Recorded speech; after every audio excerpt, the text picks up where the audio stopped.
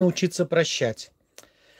Э, особенно как простить человека, который сделал вам много-много зла, который вообще доброго вам ничего не, ничего не сделал, и как простить его. Как в нем рассмотреть образ Божий? Мы же все по образу Божию созданы.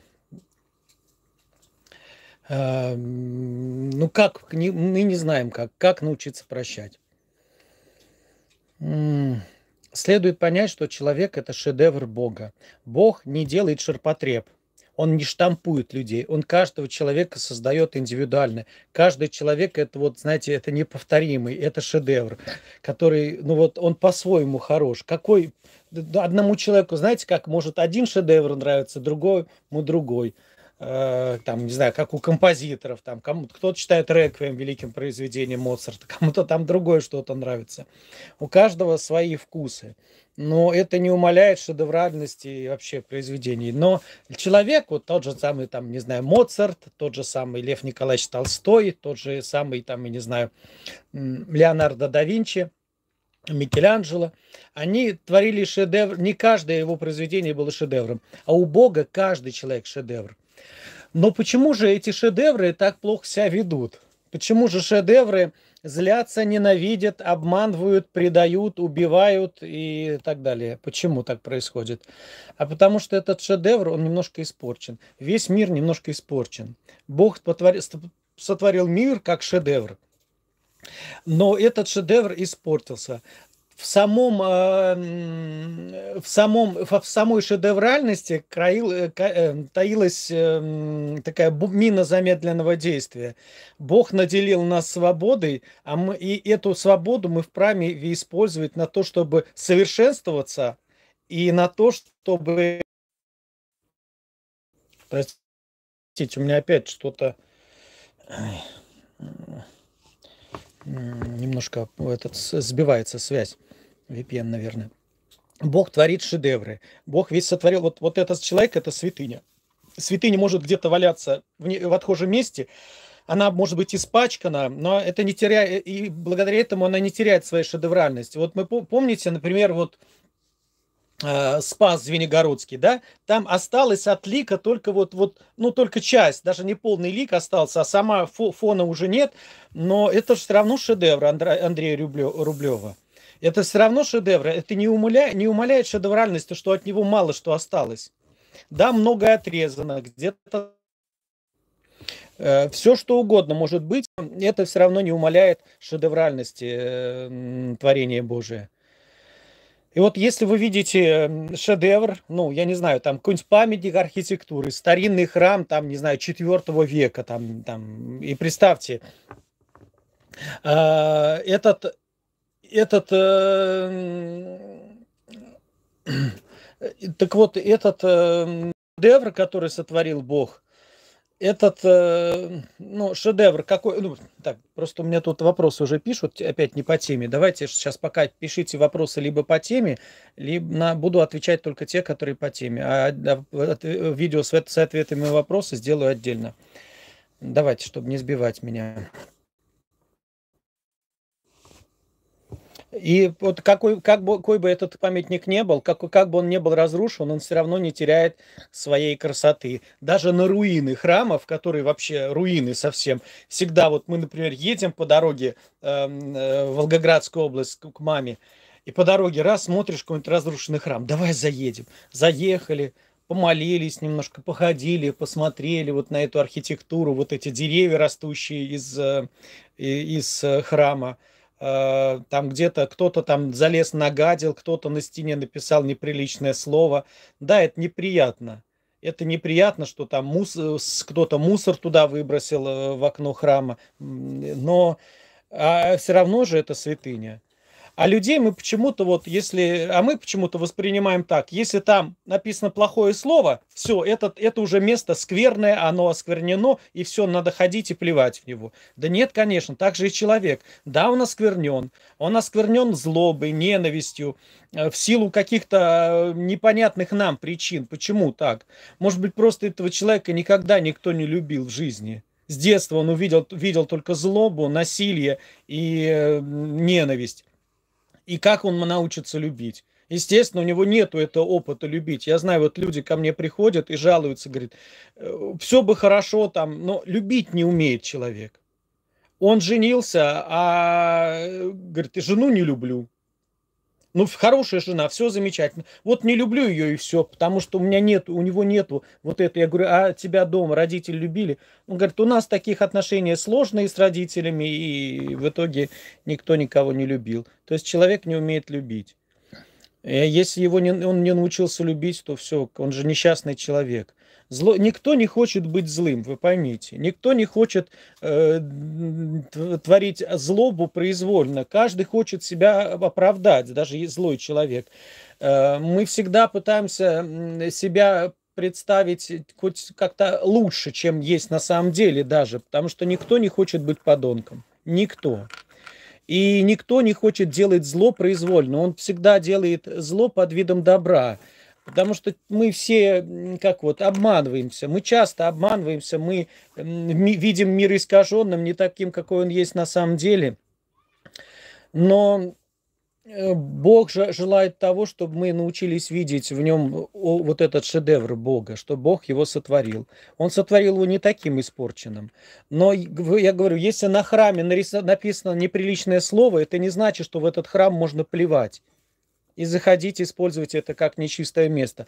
То же самое с человеком. Если он осквернен, если он завален грязью, нечистотами, это наоборот, это все равно остается святыней, это все равно остается шедевром. Его хочется наоборот очистить чтобы, как вот Бог хочет, хочет каждому спастись и прийти в познание истины. Вот представьте, что должен сделать э, сын-наркоман э, перед любящей матерью, чтобы та от, нее отрек... от него отреклась. Он будет выносить, не знаю, телевизор вынесет из дома, пропьет. Он будет воровать деньги из кошелька матери, последнюю пенсию. Она все равно будет ходить, и вон, я говорю, в тюрьме служу, там, там сидят рецидивисты, там девчонки, которые просиди, уже сидят не первый раз – в основном вот 228 наркотики. Э, и э, сидят наркоманки, да, а матери, там откуда-нибудь из Серпухова, а то из Владимира, со Владимира какого-нибудь, приезжают туда вот с этой сумкой, тележкой на колесиках и приносят какие-то передачки туда. А там еще, во-первых, надо на электричках, там они мотаются не пойми сколько, потом на автобусе доехать, и потом в горку по, по сути, по трассе, там тротуара нет, там идешь, тебя машины грязью обливает, да, еще и километров два пройти туда, до самой колонии, с этой огромной сумкой, баулом, который она несет, чтобы накормить вот эту девочку, которая, ее, эту доченьку, которая э, вынесла из дома все, что можно было вынести, и, и она уже который раз приезжает в эту колонию, чтобы ее накормить. То есть невозможно сделать что-то, чтобы мать отреклась от ребенка. Поэтому, как через пророка говорит, оставит ли э, мать э, ребенка своего и не помилует ли, не помилует ли исчадие чрева э, своего. Но если и она не, не если она не если она оставит, я не оставлю, говорит Господь. Господь не оставляет никогда, потому что это его, мы его чада, мы его дети, мы его шедевры. И Богу обидно, когда мы из шедевра э, там шедевру усики подрисовываем, да, портим его, пытаемся как сделать лучше, а в итоге мы ну, портим этот шедевр. Бог не этого желает от нас. И вот если мы начинаем видеть в каждом человеке вот этот шедевр, вот этот образ Божий, мы начинаем отделять грех от грешника. Грешник, грешник это вот как мы все с вами, это вот каждый человек. А грех это то, что его насилует. Грех творит насилие над человеком, и он заставляет его делать то, что он не хочет. Если с этого ракурса смотреть, вы не будете никого, вы перестанете ненавидеть, перестанете злиться, вы научитесь прощать, потому что жалко каждого человека. Потому что он не хочет быть плохим, вот поверьте мне. Никто не скажет, что я хочу быть плохим. Каждый хочет быть добрым, хорошим, милостивым, умным, положительным. Но вот не всегда получается. Так, давайте я поотвечаю на вопросы по теме, хорошо? Осипов рассуждал, что муки не вечные, мог ли Бог создать людей, зная, что огромное количество людей будут в вечных мучениях, продолжение снизу. Э, цитировал апостолов, некоторых святых отцов, которые утверждали, что не будет вечных мучений. Знаю, что вы, скорее всего, ответите, что не надо думать, вечные они или нет, но я бы хотел знать ваше мнение на этот счет. Знаете, вообще не интересно. Не, по, не то, что полезно, не полезно, вечные буки, не вечные. Но, понимаете, мне тратить свою жизнь на размышления, насколько вечны будут муки, насколько велика, велико милосердие Божие, ну, я знаю, что велико. Если Бог меня терпит, это уже о многом говорит. И до сих пор небо не, земля не разверзлась и не поглотила меня. Ну, какая разница? Я не знаю, вот этот вопрос настолько неважный, настолько бессмысленный, что, кажется, отвечать на него нет смысла. Как научиться прощать таких людей, как насильников? Вы поймите, насильника самого изнасиловали. Его изнасиловал грех. Он самый несчастный человек. Насильник не может любить, вы понимаете? Человек, вот представьте человека, который же не может любить. Что, какое зрелище еще более несчастное вы можете увидеть, чем человека, который не умеет любить? Все. Да не дай бог так. Вот знаете, у меня был период, а, ну, такой период цинизма такого в юности, ну, подростковый, да, вот поздний подростковый период, уже там юношеский такой, лет наверное, до 20, там, с 15 до 20. И у меня период был, я перестал любить. Я перестал влюбляться в девчонок. То, знаете, там, влюбишься в одноклассницу, ну, никак это не проявляется, просто как думаешь о ней иногда, так вот, вот размышляешь там, э, придумываешь, что вот я бы, а, вот бы, она сама мне написала на записку, и вот как-то вот мы стали бы дружить, да? Дальше это никуда не заходило. А тут просто перестал любить перестал влюбляться. И до этого я писал стихи много, музыку сочинял там что-то. А тут все, у меня творческий кризис, я ничего не могу, потому что не можешь любить, не можешь и творить. Это даже вот, ну, я говорю, вот в контексте простой влюбленности. А, а, ну и вообще при этом очерствение такое чувствует человек, это вот это все несчастье, это ад. Ад это место, где нет любви. Поэтому простить, как вот, как понять? Если он сам уже несчастный, сам уже страдает, более того, как э, пишут э, психологи, там, социологи, что в основном насильники это те, которых самих в детстве изнасиловали. Психика у них сломалась, и они уже за себя не, не, за себя не отвечают. Вы же, на, вот у меня собака, она возьмет, меня поцарапает. Вот просто она приходит, я прихожу, она радуется, она подпрыгивает ко мне, прыгает, и вот у нее когти, особенно когда когти не подстригли вовремя, она начинает прыгать, и лицо, у меня все руки поцарапаны, и все поцарапанное. Она не специально это делает. Она не может понять, что она просто выражает свои эмоции и не может с собой справиться. Также человек, понимаете, чем меньше человек любит, тем он слабее, тем грех более насилует его. Грешник, насильник – это человек, изнасилованный сатаной. И что, его и так насилуют, да, вот он, он творит зло такое. И, понимаете, прощать это не значит попускать, да, насилуй дальше. Нет, вы, мы, мы обязаны остановить грешника, если он творит зло для кого-то другого. Когда он сам для себя творит, мне без разницы. Я не, стар, не пытаюсь человека остановить. Вот, например, там, не знаю, говорят, воюют против гомосексуалистов. У меня го- гомосексуалистов никаких претензий. К гомосексуализму, как к греху, много претензий. Но к самим гомосексуалистам нету никаких претензий. Мне, за не, мне их жалко, потому что сами на себе срам делают, как апостол Павел говорит об этом в послании к римлянам. Сами на себе творят срам. Но они сами от этого страдают. И мне, мне, мне жалко их, но э, заставлять их насильно э, не творить этот грех, э, насильно там через какие-то манипуляции заставлять их отказаться от этого, заставлять насильно людей избавиться от наркотиков и алкоголя, насилие, я считаю, что здесь непри, неприемлемо ни, ни, в каки, ни в какой форме. Грех надо ненавидеть, а грешника надо, надо любить. Это вот аксиома христианская.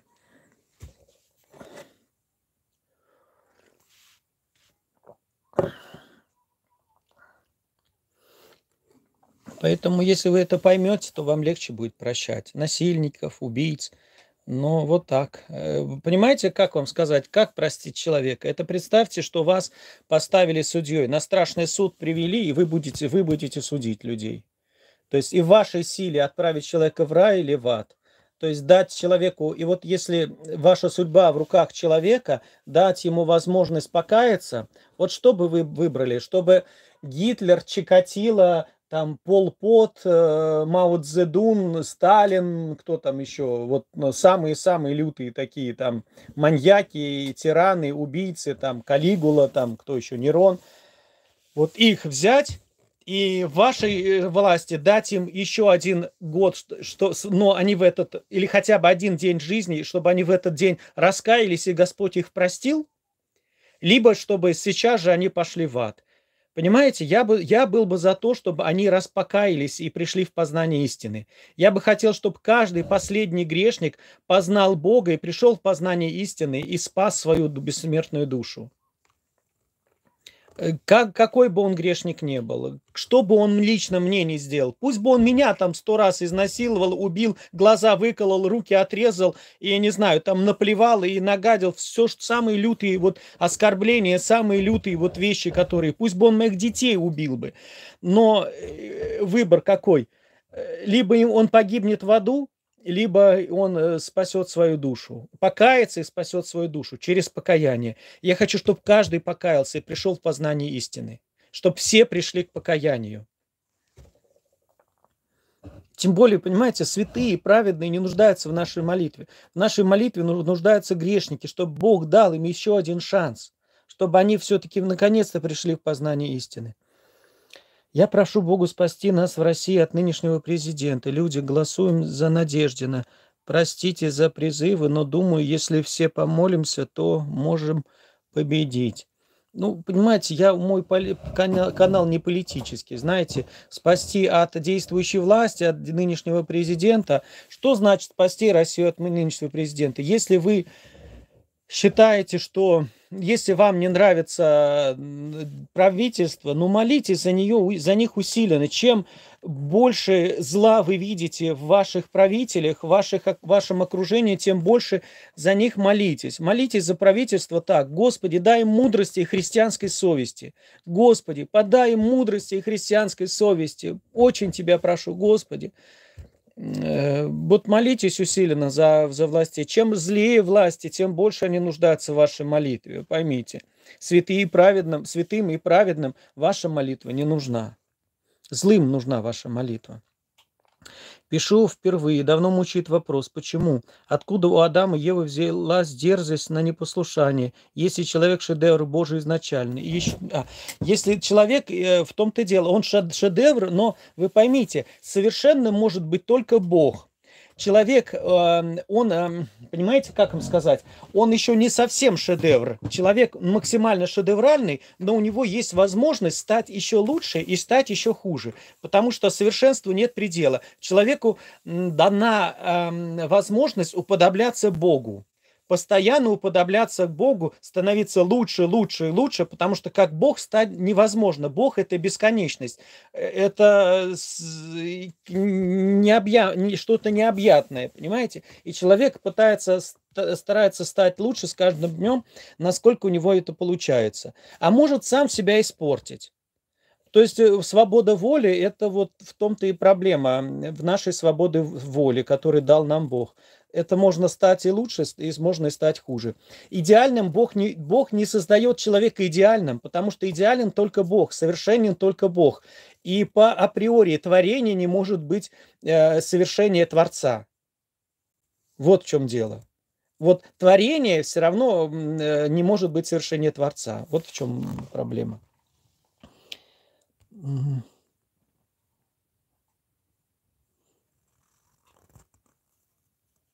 Ой, опять тут споры политические начались. Ой, давайте не будем.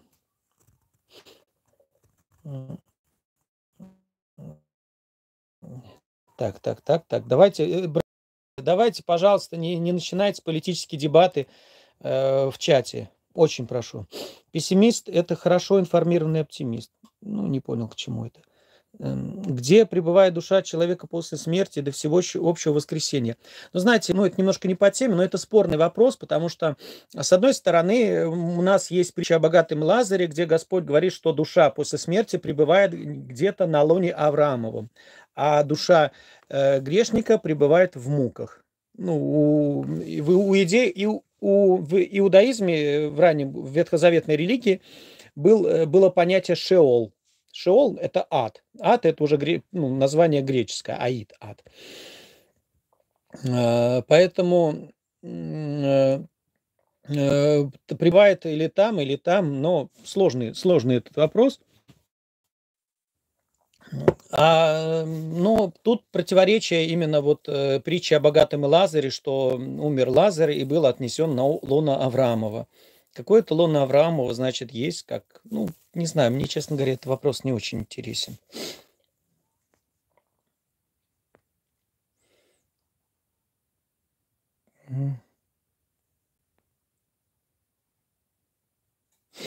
Что вы думаете насчет того, что человек понимает, что согрешил, покаялся, но не может сам себя простить? Что делать в таких случаях? Когда человек сам себя не может простить, а знаете, что я советую? Э, если он покаялся, но долго не может себя простить, поговорить об этом с Богом. И тут недавно общался, переписывались, мне подписчица одна писала, что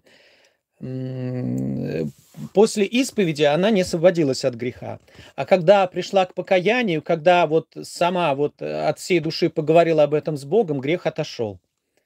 И это действительно так часто бывает, что э, чтобы избавиться от греха, от последствий греха какого-то, это надо взять, эм, ну, закрыться в комнате, выключить свет, стать на колени или сесть, или стать, ну, как вам удобно, не знаю, как вам больше, чтобы настроить душу на это, и поговорить об этом с Богом, не вставать, пока не почувствуете, что прощены.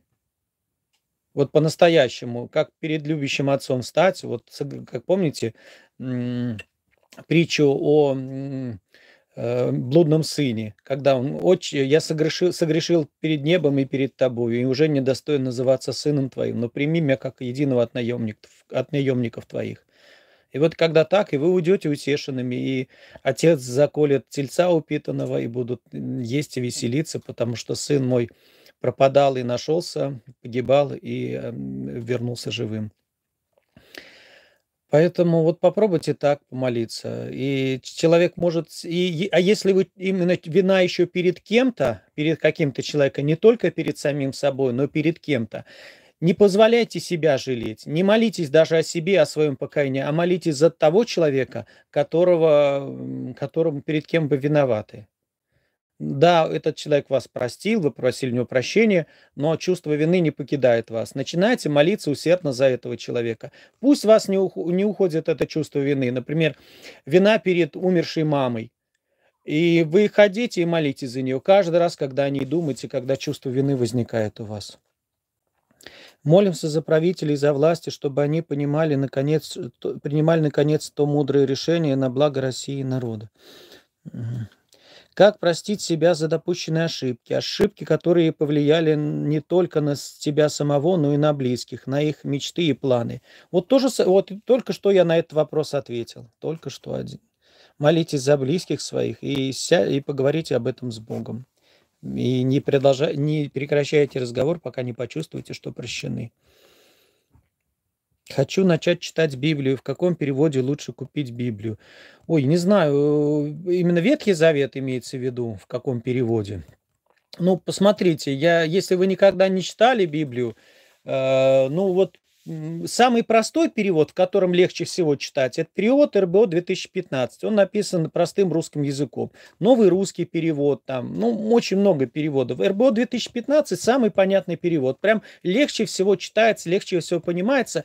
Хотя многие пишут, э, исследователи, что там много недостатков все-таки в нем. Но мне, мне понравился, как я не, не совсем там согласен, особенно в книгах Нового Завета. У меня есть там, там вопросы к нему, к этому переводу. Но с другой стороны, я-то знаю, как это переводится. И там то, э, какое-то слово непонятное, я смотрю, ага, вот здесь он перевел не так, как в синодальном, не так, как переводит Десницкий, не так, как переводит Ксян Безобразов, так, а как в греческом оригинале? Посмотрел, как это слово переводится? А, вот так-то и так-то. Но это все-таки для профессионалов, так сказать. А все же период РБО 2015 и вполне хороший перевод, мне очень нравится. По-моему, есть беседа обзор духовной литературы, там, кажется, я говорю о переводах Библии, если не ошибаюсь, может быть, может быть и не там. Не по теме. Почему нельзя молиться за других, если слаб еще духовно? Правда ли, что его грехи как бы и твоими могут стать? Нет, неправда. Категорически нет. Кстати, отец Андроник, э, монах Андроник из он тоже самое говорил, у него даже есть беседа об этом, он говорит, что это чушь полная, что чужие грехи мы берем на себя, когда за людей молимся. У меня есть отдельное видео, как молиться за близких. Вот, посмотрите, там я об этом и говорю, что я молюсь за всех. Я не вижу проблемы в чем, почему за кого-то так, за кого-то нельзя помолиться. Наоборот, если вам жалко человека, как за него не помолиться? Ну как, как не помолиться за человека, если вам жалко? Э, да, понимаете, даже если говорят, я возьму грехи на, на, на себя, и что, меня Бог за это накажет, что ли, или как? Отлучит от любви своей за то, что я помолился за человека, за то, что мне его жалко. Он пьяница, спивается вообще. Мне жалко его, он душу свою губит. Он находится в блуде, и, там, не знаю, в, убивает, ворует. Как жалко же этого человека, он гибнет. Бог над ним трудился, а он гибнет. Неужели не жалко? Неужели вам не хочется за него помолиться, чтобы Бог дал ему спастись и прийти к познанию истины?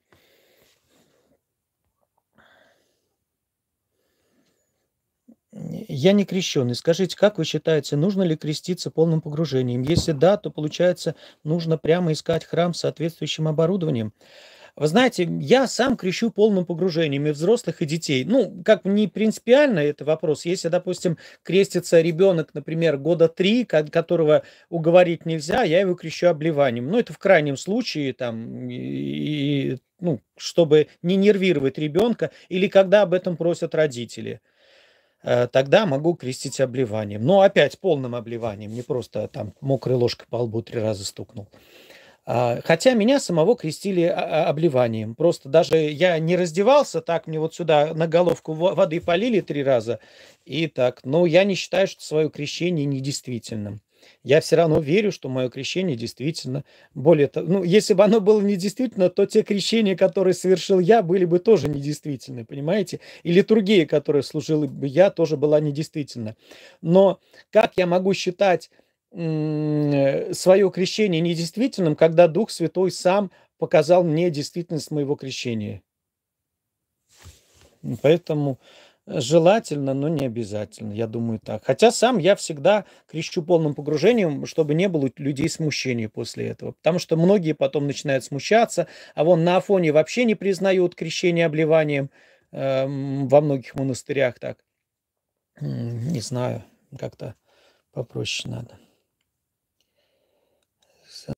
Так, но я не согласна со многими церковными уставами. Ну, это нормально, понимаете, как вы хотите сразу совсем согласиться, просто заочно. Я, например, не согласен с, с тем, что люди, у нас церковь крестят за деньги. Мне не нравится торговля в храмах.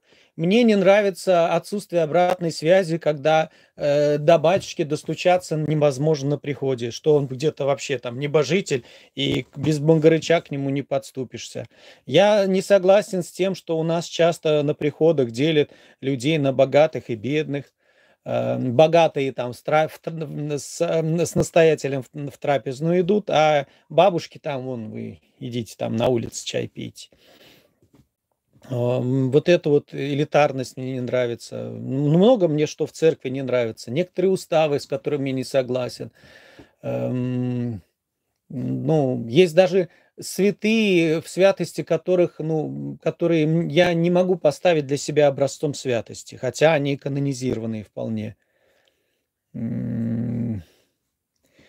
То есть со многим не, даст, не согласен. Просто, знаете, в таком случае вам хорошо бы встретиться, найти такую общину, где вас могут выслушать, где вас сразу не закидают камнями, если вы скажете, выскажете что-то такое, что э, кому-то может показаться там неприятным или лишним. Найдите такую среду, найдите такой приход, и тогда вы сможете пообщаться, э, высказать свое мнение, вас выслушают, постараются там ответить на ваш вопрос. Такие храмы есть. Можно ли строить воскрес... стирать воскресенье, благословите, спаси Господи? Да можно. Вы что стираете? Машинка стиральная стирает. А вы это забросили в машинку, она стирает. Что там стирки-то? Посмотрел видео архимандрита Феогноста Пушкова. Я тоже во многом не согласна с тем, что он говорит, но почему-то он кажется таким интересным человеком, что-то есть. Да, мне очень нравится отец, э, э, отец Феогност. Я планирую с ним видео с, о литургии, о божественной литургии.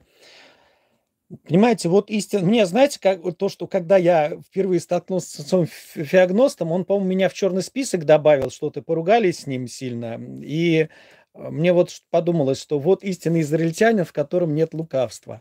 Можно во многом с ним не соглашаться, но он, э, он может иногда, ну, человек очень эмоциональный, часто не сдержанный, но он иногда может ну, он искренний человек, мне кажется. Мне кажется искренним, верующим человеком, очень прямым, недостаточно дипломатичным, наверное. Кому-то может показаться его поведение хамским, но мне почему-то он очень близок. Я не знаю, как объяснить. После кораблекрушения выжили двое детей. Выросли, стали мужем и женой. Родили ребенка. Брак не зарегистрирован, естественно. Получается, в блуде жили. Нет, почему в блуде жили? Понимаете, формальность, как, э, что является браком. В разные, э, в разные э, периоды истории браком считались разные, разный подход к браку был. был. В Священной Римской империи, если не помню, в каком, ну, в законах тоже, в сводах правил и законов Священной Римской империи, там считалось, если женщина провела под крышей мужчины три дня, она автоматически считается его женой. Э, в какие-то времена просто был, э, надо было провести обряд какой-то, чтобы перед обществом взять, э, обязательство за эту женщину. Все, объявить перед всем обществом, эта женщина моя жена. И по-разному было. Потом в, во времена, в синодальный период у нас брак заключался в церкви. Только в церковь могла, она функции ЗАГСа выполняла и, то есть венчание и, и, и это являлось и браком. В советский период отделено был, был церковный брак, был гражданский брак. Гражданский брак заключался в ЗАГСе, а церковный брак заключался в церкви, в храме, чин венчания, когда происходил. Не знаю, мне кажется, это тоже все формальность. Кстати, до середины ну, в общем, до 19 века венчались только очень знатные люди, дворяне, а крестьяне простые не венчались.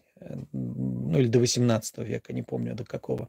Венчание уже не было так распространено. А сейчас венчание, потом в 19 веке это стало прям нормой, обязательством. То есть невеченных браков не было практически. Так вот. Ну и здесь я не вижу проблем. Почему в блуде жили, если они на необитаемом острове, если они были верны друг другу, если у них детки, ну, как, не, не, не является блудом. Нужна ли генеральная исповедь? Первая исповедь была лет 9 назад. Да нет, я, а, у меня есть видео, называется «Исповедь и покаяние». Там тоже я рассказываю, смысл, есть ли смысл генеральной исповеди. Мне кажется, нет никакого смысла. Почему винят только женщину, что она вывела из рая, хотя она взята от Адама и все унаследовала от него генетически, даже не послушание. А мужчина раз послушался жену изначально ведомый. Ну, не заморачивайтесь, не заморачивайтесь. Почему женщину винят? Это просто, понимаете, женщину винят слабые мужчины. Вот женщина виновата. Да, ну, причем здесь женщина? И мужчины, и женщины. Нет, во Христе нет ни мужского пола, ни женского, но все едины во Христе Иисусе Господе нашем. Почему женщина виновата? Ну, объясни это ну, так вот объясняется, что вот женщина первый, первый. Женщина вообще, знаете, как просто они, мужчина с женщиной, они по-разному устроены. Знаете, что могу сказать? Мужчина более рассудочный. Женщина у женщины эмоции впереди идут, у мужчины разум. Вот если мужчина эм, поддался эмоциям, это для него двойной грех. Потому что с него больше спрос, потому что у него он более рассудительный должен быть. Так.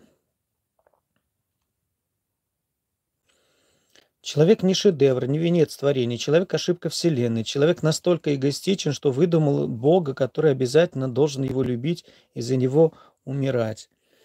Ну нет, человек это шедевр, вы зря так. Человек это вот просто это целая Вселенная. Это целая Вселенная. Это что может творить... Э, ну вот смотрите, музыку Баха послушайте. Но вот кто может создать такую музыку? Ну вот как это? Как вот ты слушаешь, а тебе вот, знаете, как вот, ну как вот, ну вот все чувства возникают, ты как, как будто ешь что-то вкусное, как будто ты вот, ну вот наслаждаешься какой-то радостью просто от музыки, а просто какие-то сочетания каких-то нот на разных инструментах сыгранных. Ну как такое может быть? Ну видите, значит, если человек умеет сам творить шедевры, значит, он сам шедевр. Придумал Бога, нет, знаете, опыт познания Бога, он, ну, он...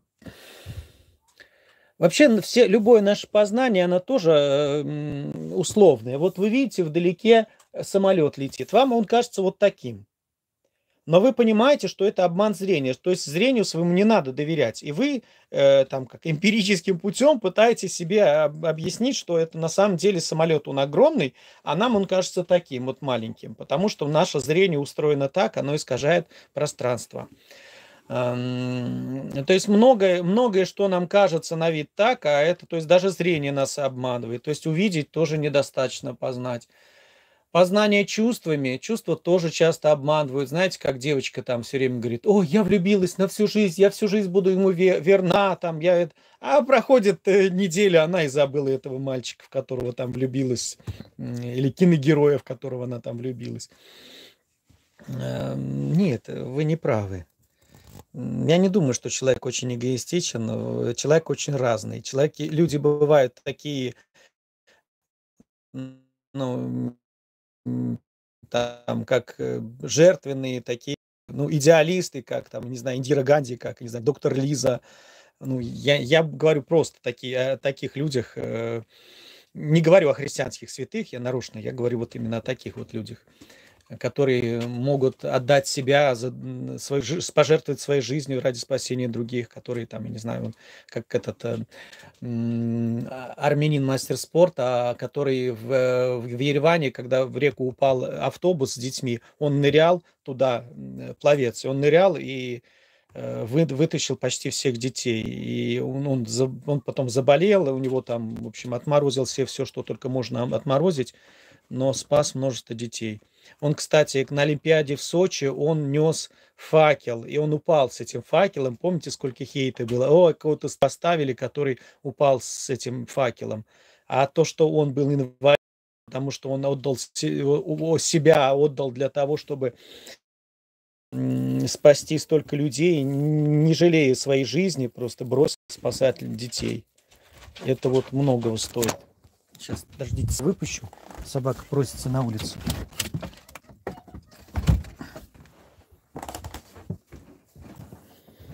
Поэтому, не знаю, мне, я очень люблю людей, мне очень нравятся люди. Может быть, у вас просто хорошие люди вам не, не попадались.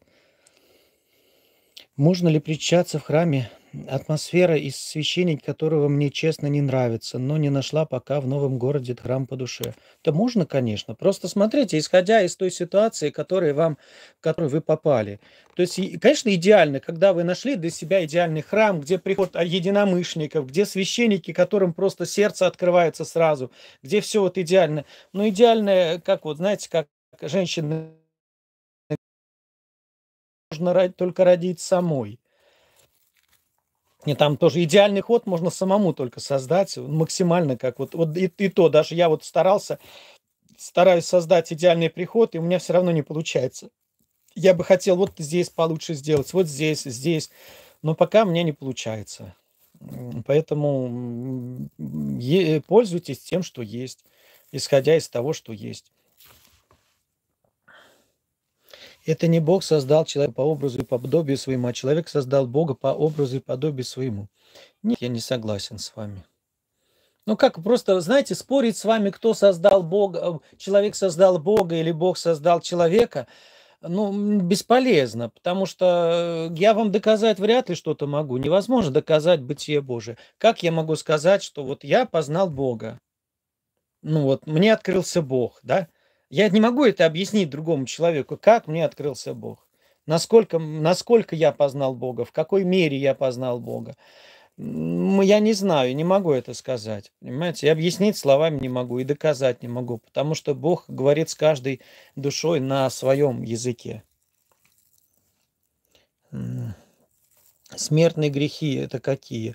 Ну, грехи, рождающие смерть, это ну, самые тяжкие грехи убийства, там, супружеские измены, воровство, там, предательство, отречение от веры – ну, там, насилие, там, ну, вот, вот такие, такие вещи, ну, это, мне кажется, ясно. Гордыня, богохульство, там, не знаю. Добрый день. Моя мама живет с младшим сыном, он наркоман. Она переживает, плачет, кричит, сказала не вмешиваться, ведь ему 45 лет. И он делает это добровольно. Может ее, может ее ударить. Правильный ли совет? Вы знаете, все-таки посмотрите, почитайте литературу о наркозависимых. Там есть еще такой термин созависимость. Посмотрите видео, ролики, то есть о наркомании, э, то есть как бороться с зависимостью, как проблемы вот этих созависимых, потому что вполне возможно, что ваша мама созависимая, и она невольно своим поведением провоцирует сына на употребление наркотиков невольно, не специально, потому что у нее тоже болезнь такая, созависимость. Это часто бывает, когда в семье были кто-то там, папа, например, алкоголик был у нее, то есть ваш дедушка. Поэтому всякое может быть. Именно это надо, этот вопрос надо именно изучить. Это этим занимаются много-много специалистов и очень много книг об этом написали. Это обратитесь лучше к специалисту. Хорошо? Почему христианам не рекомендуется слушать современную музыку, поп, хип-хоп и так далее? Я не знаю, кому не, не, не рекомендуется. Ну, кому не рекомендуется? Кем не рекомендуется? Понимаете, христианство, оно очень-очень большое. Православие очень-очень большое. Здесь где-то кто-то, вот я знаю, есть, эм, знаете, как батюшка, как, я не помню, как его зовут. Ой, иди сюда. Что ты там взяла? Ой. А, эту ешь. На, ешь, грызи твоя грызулька. И есть батюшка рэпер, я не помню, где-то в Чебоксарах, кажется, не помню, как его зовут, он сочиняет рэп очень-очень такой интересный. Я-то рэп вообще как-то не понимаю, но говорят э, знатоки, верующие люди, священники говорят, что очень такой, такой серьезный, серьезная музыка такая интересная. Не знаю, я разную музыку слушаю. Но я больше люб, я люблю Баха. Вот мне нравится Бах. Ну, это сейчас. А так вообще я там и Пинк Флойд мог слушать, и Лед Зеппелин, и там, не знаю, Шевчука, там какой-нибудь Цоя, Гребенщикова. Не знаю, джаз, джаз люблю, там, сам люблю блюзики такие на фортепиано играть иногда. Я не знаю, это просто православие очень разное. Кто-то категорически запрещает любую музыку. Вот, например, кальвинисты, вот Жан Кальвин, он вообще запрещал любую музыку, вообще любую, какая бы только, какая бы ни была, даже церковная музыка была, был запрет на церковную музыку, если не ошибаюсь. Но я считаю, что культура пусть остается и музыка, и поэзия, и художественная литература. Почему бы нет? Просто музыка, она тоже разная безвкусная музыка, когда есть, когда, например, ну, там, как называется, попса, ну, это просто, знаете, это, ну, бескультурие. Э, мне кажется, это как-то уж, ну, просто как, ну, просто бескультурие, это бескусица, только из этих позиций. А религиозное какое-то содержание вкладывать в это, нет, не вижу смысла. Человек имеет все, что имеет Бог. Он вложил в людей, все в людей, такую красоту фантастическую. Просто бери и расти, развивайся в Господе. Ну, не сказать, что все, что имеет сам, потому что Бог совершенно, совершенно человек, говорю, творение все равно не сможет быть таким совершенным, как совершен Творец. Моя тетя обиделась на меня, потому что я ее дочери-наркоманке сказал не приходить к моим детям. Я виноват, должна, виновата, должна извиниться. Нет, я бы тоже, наверное, не позволил дочери наркоманке приходить к детям. Все-таки тоже побоялся бы. Нет, не стоит. Ну а что тут извиняться? Ну, может быть, тоже у вашей тетки проблемы там с созависимостью. Кто знает. Ну, обиженных воду возят иногда. Э, просто зашла сказать спасибо за ваш труд. Так, тогда благодарю. Эм, где ваш приход? В какой день лучше приехать, чтобы лично с вами пообщаться? Очень надо.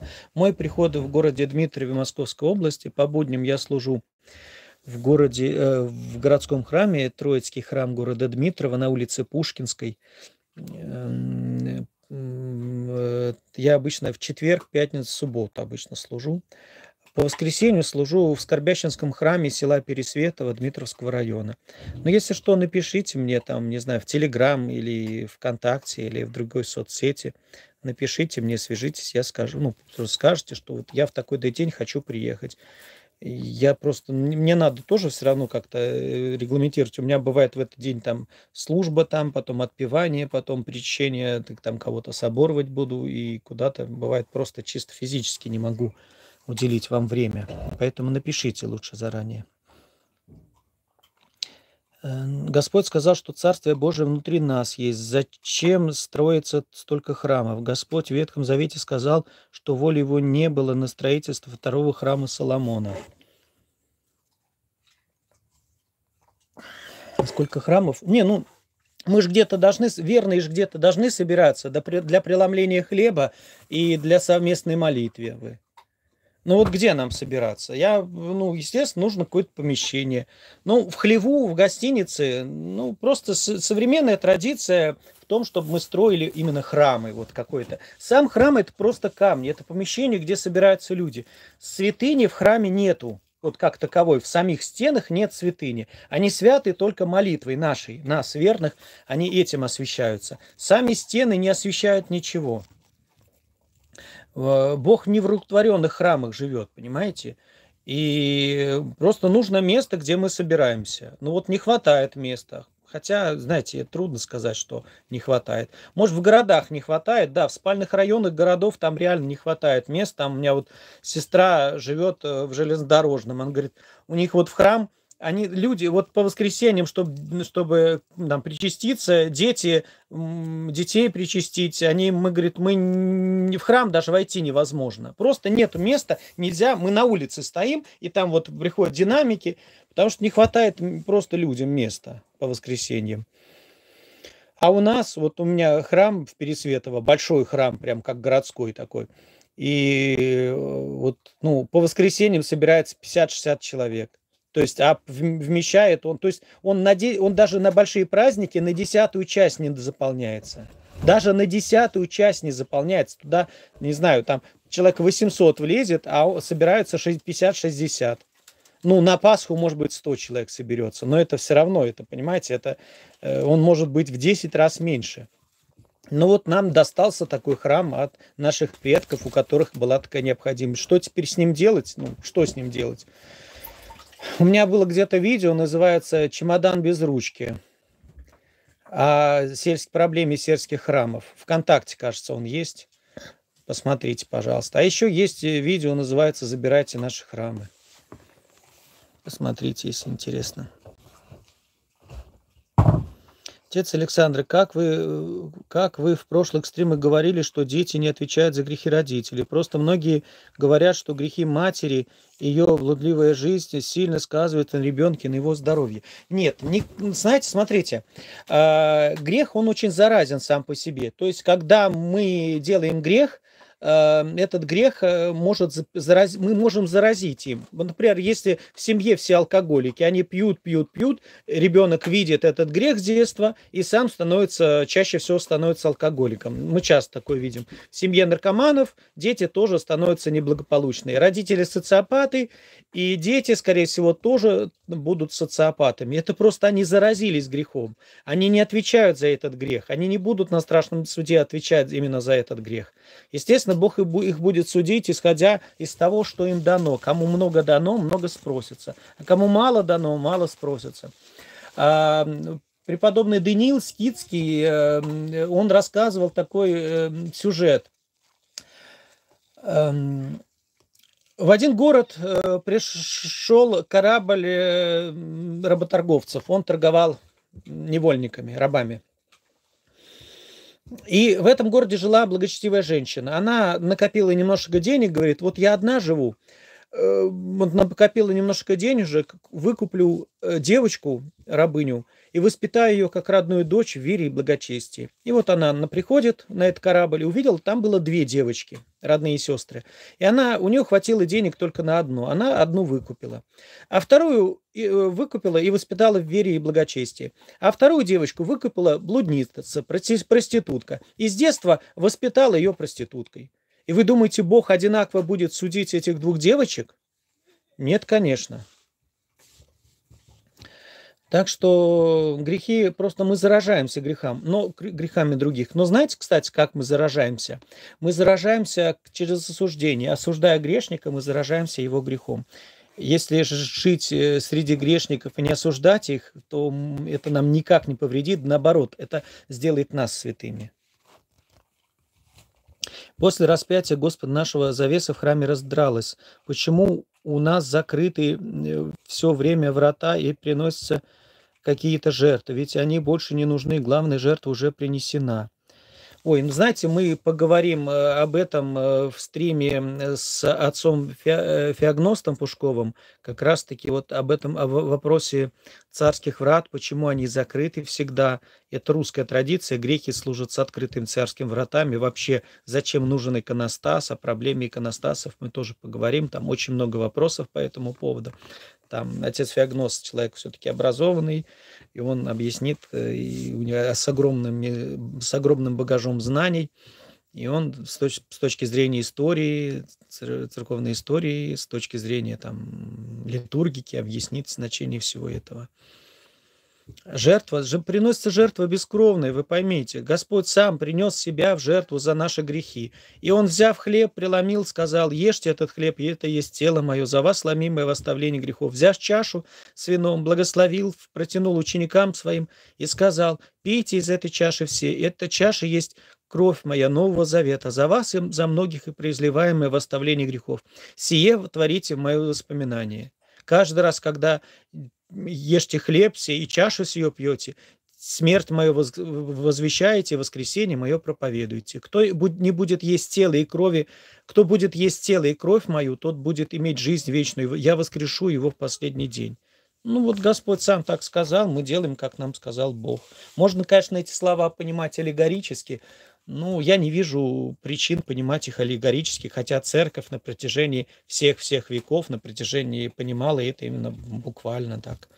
И апостол Павел это подтверждает, и первые э, христианские апологеты это подтверждают, там, не знаю, Иустин Мученик, эм, и э, Ипполит Римский, не знаю, все, все ран, ранние авторы, Тидахе то же самое это подтверждают.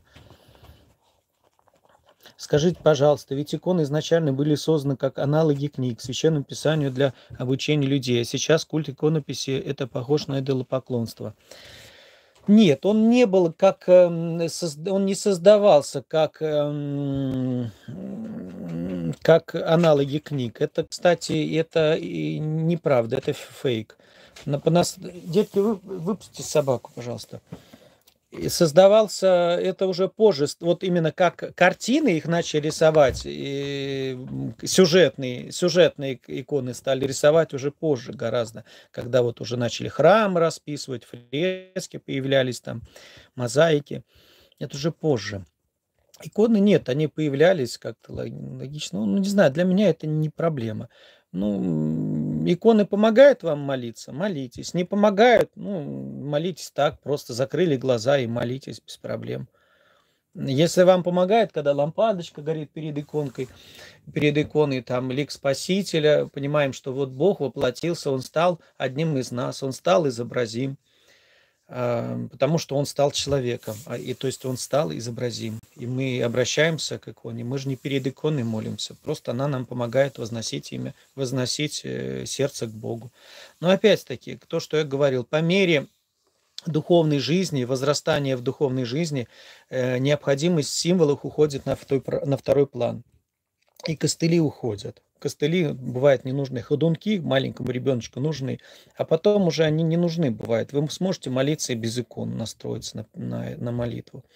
Хотя иконы я вообще люблю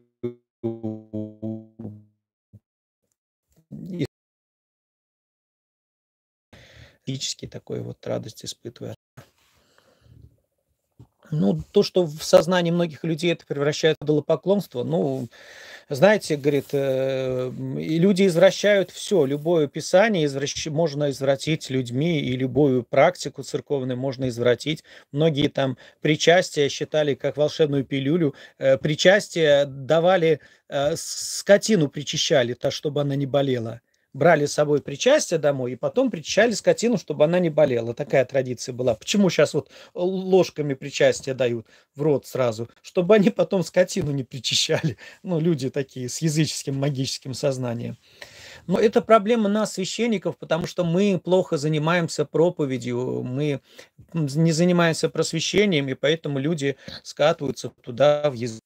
В Ветхом Завете вот являлись пророки, и народ уходил опять в идоло начали есть идоложертвенное, приносить жертву и Ваалу своих собственных детей, и Астарте там служить вот этим в этих в священных рощах, там поклоняться этим идолам. И приходит пророк и начинает их трясти, будоражить. Опомнитесь, что же вы делаете? Все, опять они опомнились, покаялись, все. Проходит какое-то время, и опять они туда уходят. Вот это народное благочестие, оно скатывается всегда в язычество. Это народное благочестие. Но приходят вот такие духовные люди, пророки, и люди с даром духовного рассуждения, духоносные, и они начинают будоражить людей и вытаскивать опять из пропасти А это язычество люди называют традицией. Мы так выкли. Это наши традиции, так что нечего, тут ничего не надо менять, не лезьте со своими порядками в наш беспорядок. Я всегда была атеисткой, недавно пришла к вере. С мая читаю Библию, но иногда не могу избавиться от скептических взглядов на, на написанное. Что делать, подскажите. Не сомневается только шизофреник. Во-первых, э, очень хорошо, когда у вас есть какая-то среда, где вас могут выслушать.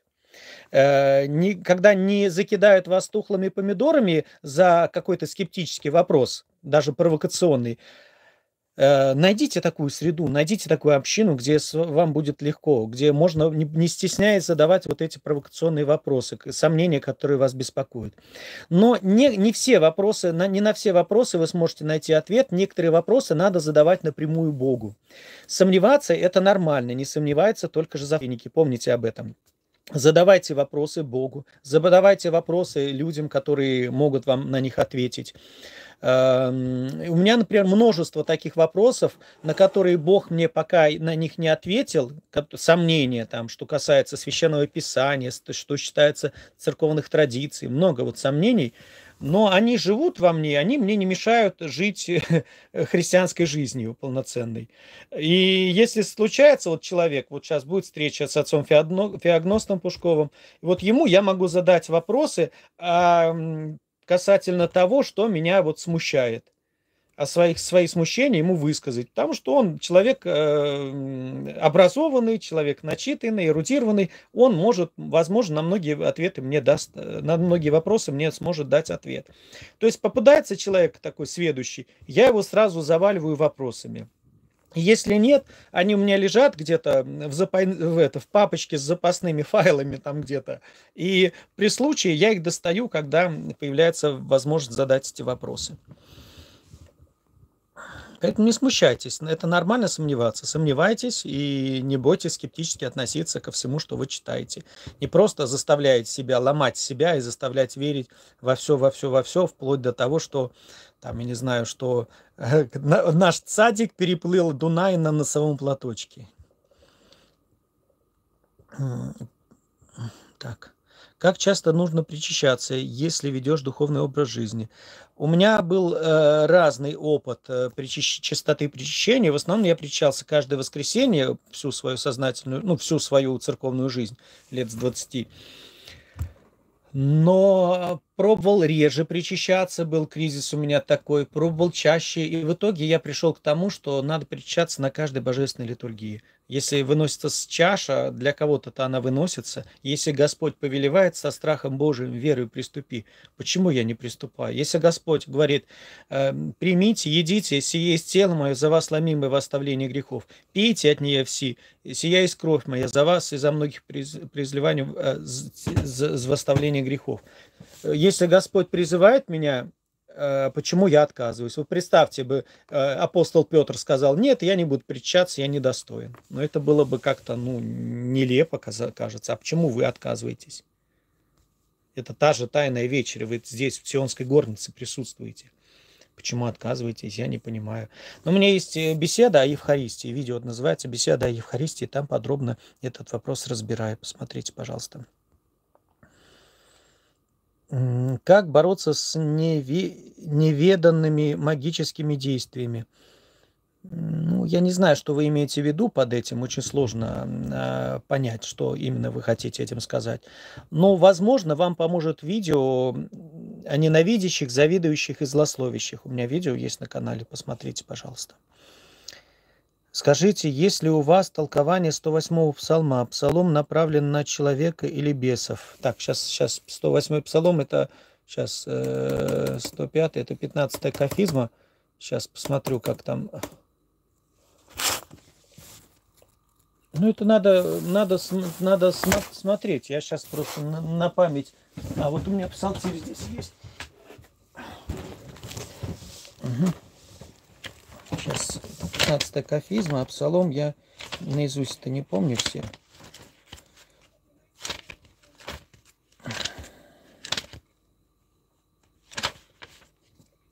Боже, хвалы мои, не примолчи, яко уста гнещите, усталь сил на меня отверзошься, глаголшным языком всем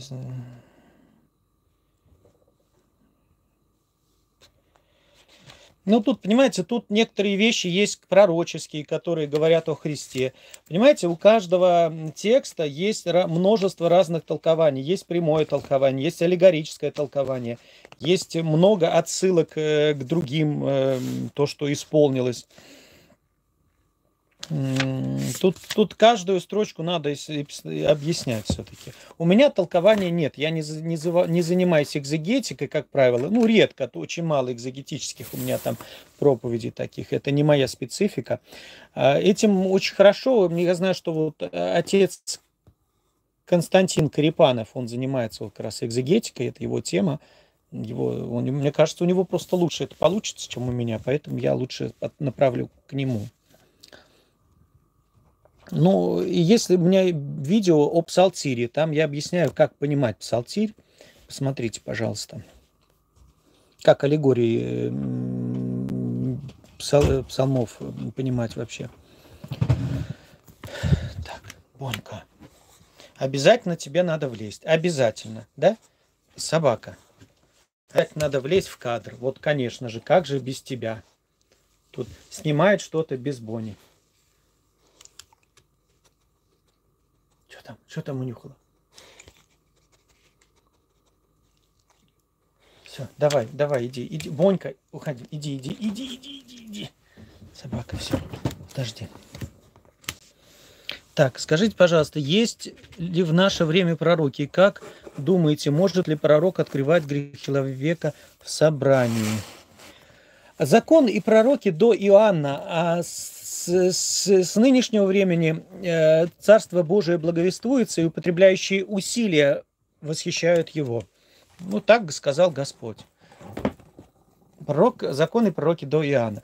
Э, возможно, дар пророческий – это, по сути, Бунька.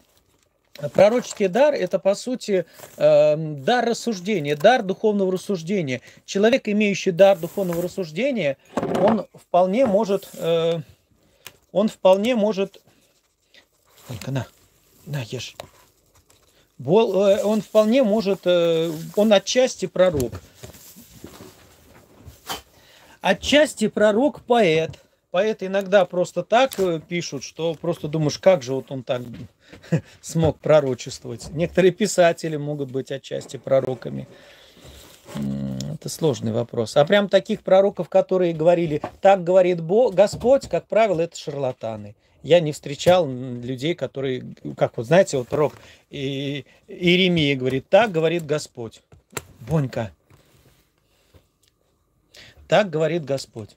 Но никто пока так не, у нас не дерзнет говорить. А тот, кто дерзает, как правило, шарлатаны. Вот из моего опыта.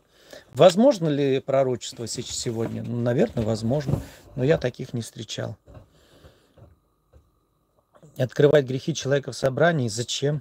Зачем открывать его грехи? Ну, некоторые бывают, которые пытаются так вот делать. А там можно, знаете, можно понять, пришел человек первый раз в храм. Ну, можно сразу же, если он, он опытный духовник, сразу можно примерно объяснить, какие у него грехи. На исповедь приходит человек, и, как правило, ты знаешь заранее, что он тебе будет говорить, какие грехи у него, просто из опыта. Но представьте, сколько людей были, сколько исповедей я принял. Ну, миллионы. Вот за, хотя я служу, то еще 10 лет не служу, но уже миллионы исповедей принял. Ну, естественно, опыт уже какой-то есть, и уже можешь понимать как-то, даже там по глазам видно, э, что за грехи у человека, что у него за проблемы часто. Ну, не всегда, но часто. А если человек там 30 лет служит священником и миллиарды людей поисповедовал, то, конечно, уже у него, у него все это гораздо проще. Гораздо проще бывает. Но это не пророчество. Иконы еще были об, образами, картинами для неграмотного темного народа, которые тогда были очень нужны. Э, во что верить, показывали. Нет, там немножко по-другому было. Вы, это у нас на Руси, да, возможно, это так было. Но э, в Византии, во-первых, народ там был немножко образованнее тогда, когда вот иконопись э, зарождалась как таковая. И нет, это немножко друг, другое все-таки.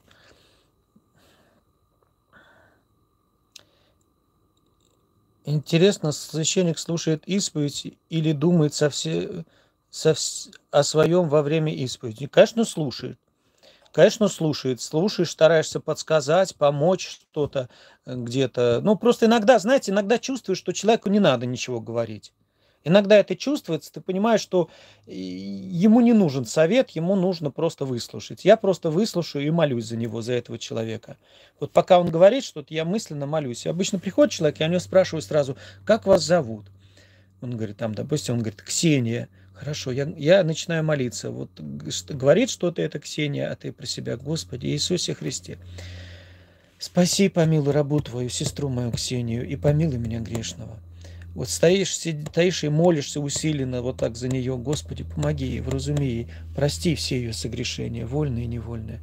Вот начинаешь э, молиться так, и все. И иногда Господь подсказывает, что сказать, иногда не подсказывает, молчишь тогда. Что принести на отпевание? Умерла женщина, которая, как и я, ходила в воскресную школу для взрослых. Не знаю, а что приносит? Ничего, мне кажется, не приносит на отпевание сердце свое принести надо, и все.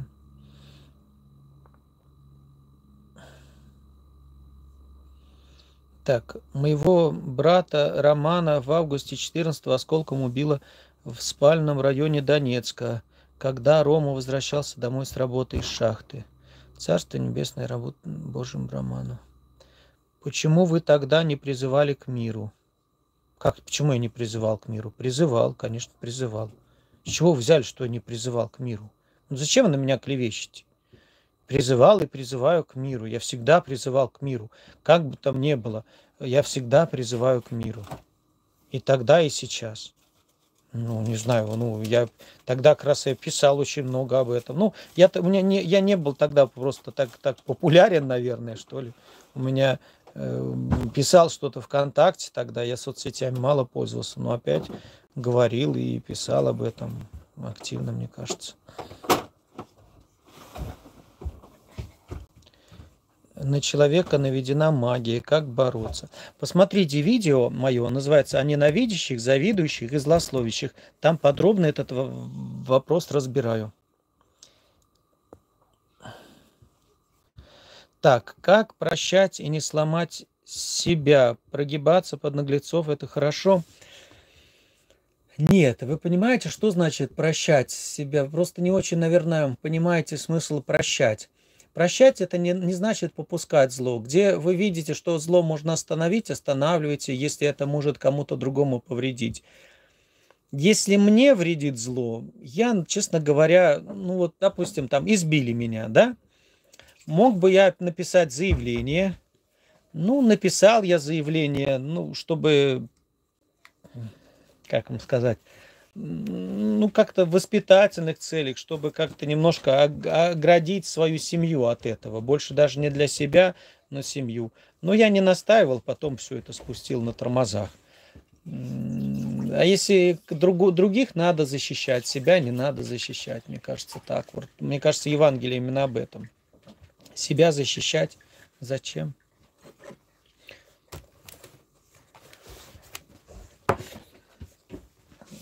Поэтому так. Помните этот, э, э, как, как же там этот э, Три мушкетера наш, нашу, помните, экранизацию? Там песня была «Господь, ты видишь это тело», там в нем был наглец, и нет его, его ты создал не умело, но дал мне шанс исправить дело, хоть право я не дуэлянт. И там еще другое. Э, что-то, но наглецы несносны, что-то как... Э, ладно, забыл уже, что-то там это. То есть у нее там много тоже такой темы. темы. Но, как, понимаете, прощать, не надо себя ломать. Если вам, вам жалко человека, себя понуждать надо, а ломать нельзя. Ну, как-то жалеть людей, что которые творят зло. Знаете, я не могу объяснить, как это. У меня не, пока не хватает слов, не приходит ничего в голову, как это объяснить. Потому что я внутри чувствую, как это делается, а объяснить, как, что, как это все происходит, на самом деле я не могу, слов не хватает не значит прогибаться под наглецов, оставляя... По, по, ну, смотрите, Господь Иисус Христос прогибался под наглецов. А, с одной стороны, Он позволил себя распять, да? Он не сопротивлялся, он не позвал 12 легионов ангелов, чтобы, которые бы заступили за него. Он не позволил апостолу Петру но, ударить мечом, да, он сказал, спрячь меч твой в ножны свои. Видите, как поступал? Также там Первомученик Стефан мог бы убежать. Нет, он позволил себя побить камнями за, за веру. Сложно, сложно как-то сказать. Ну, не знаю, я, мне, мне сложно, мне, я, я не могу об этом вот как вот объяснить, как это. Я понимаю умом, а выразить словами не могу.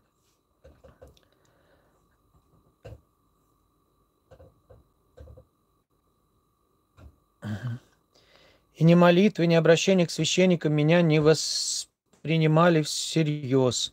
Мне не помогли. А, вот, простите, я половина прочитал.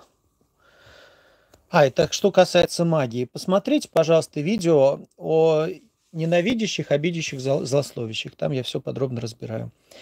Батюшка, то есть если у нас в храме малыша крестили только поливая голову, то таинство совершено? Я смущаюсь. Да, меня крестили только поливая голову. Меня так крестили.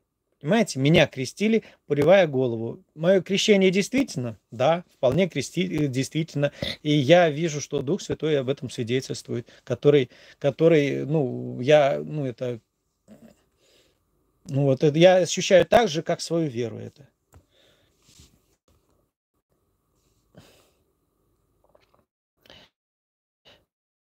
Так, в Евангелии от Луки «Отче наш» приведена только до слов «избавь нас от лукавого». А у Матфея есть весьма важное прибавление и приведено до слова «Аминь». Почему мирянам дается и во многих молитвословах применяется вариант Луки, а за богослужением с прибавлением до слов «Аминь» и читается э, прибавление только священникам. Это очень странно и непонятно, с прибавлением до слов «Аминь». А у меня есть весь, э, как раз беседа на молитву «Отче наш». Там как раз я объясняю. Во-первых, в Евангелии, в синодальном переводе, там вообще, э, в оригинале, в греческом оригинале, там все-таки вообще по-другому. Эти молитвы, молитва и у Луки, и у Матфея дается совершенно по-разному. А у Иоанна и Марка вообще она не приводится. Это говорит о чем? О том, что эм, сам текст слов был не столь значим для наших э, для апостолов молитвы, как вам молиться, э, молиться, что вам просить. Матфей в более в полной форме привел, а Лука короткий. Там нескольких строк нету у Луки вообще, не только концовки. Посмотрите видео, которое называется «Беседа на молитву Отче наш». Как вы относитесь к лекциям отца Ионария Ивлева? Ой, очень люблю. Отец Ионарий Ивлеев, я его просто, он такой умничка. Я прям всем рекомендую. Я выкладывал даже у себя на странице э, его беседы на Евангелие от Матвея, на, на Евангелие, на апостольские послания на радио Град Петров. У него замечательный перевод э, богослужебных текстов Евангелия апостолов, там тоже не знаю, я очень люблю а, отца Ионария Ивлева, Царство Небесное. Просто это умничка, это, не знаю, мне кажется, гениальный библеист, э, наш современник, которого мы еще застали. Жалко, что у меня не удалось с ним познакомиться лично, очень его люблю под, это, под, я под впечатлением начал учить греч, до, древнегреческий, чтобы читать Евангелие без фильтрации переводов. Ну да, замечательно, это отлично. Ну, сейчас переводов столько, что, в принципе, нужды изучать греческий-то и не надо, нету, потому что переводов полно. Есть даже вот, эм, эм, как, как этот, э, экзегет, и еще там, эм, как не помню, называется-то, Э, сайт, где каждая строчка, и там ты сразу все переводы, какие только есть. Кстати, очень хороший перевод сейчас опубликовал, эм, ну, не на весь Новый Завет, по-моему, Апокалипсис еще он не, не, не переводил. Эм, Андрей Десницкий, очень замечательный перевод. Прям рекомендую. Так. А почему Господь сказал слуги первосвященника, что ты, что ты бьешь меня? Значит, можно себя защищать? Нет, понимаете, он спросил, что ты бьешь меня, но он же себя не защитил, он же не ударил его в отместку. Это часто, вот этот момент часто приводит в оправдание тому, что заповедь о подставлении другой щеки недействительно, потому что сам Господь это просто как притчу сказал. Оснований для этого нет. И вот этот момент не может быть э, эм, э, противоречием с, или как-то отменять Нагорную проповедь.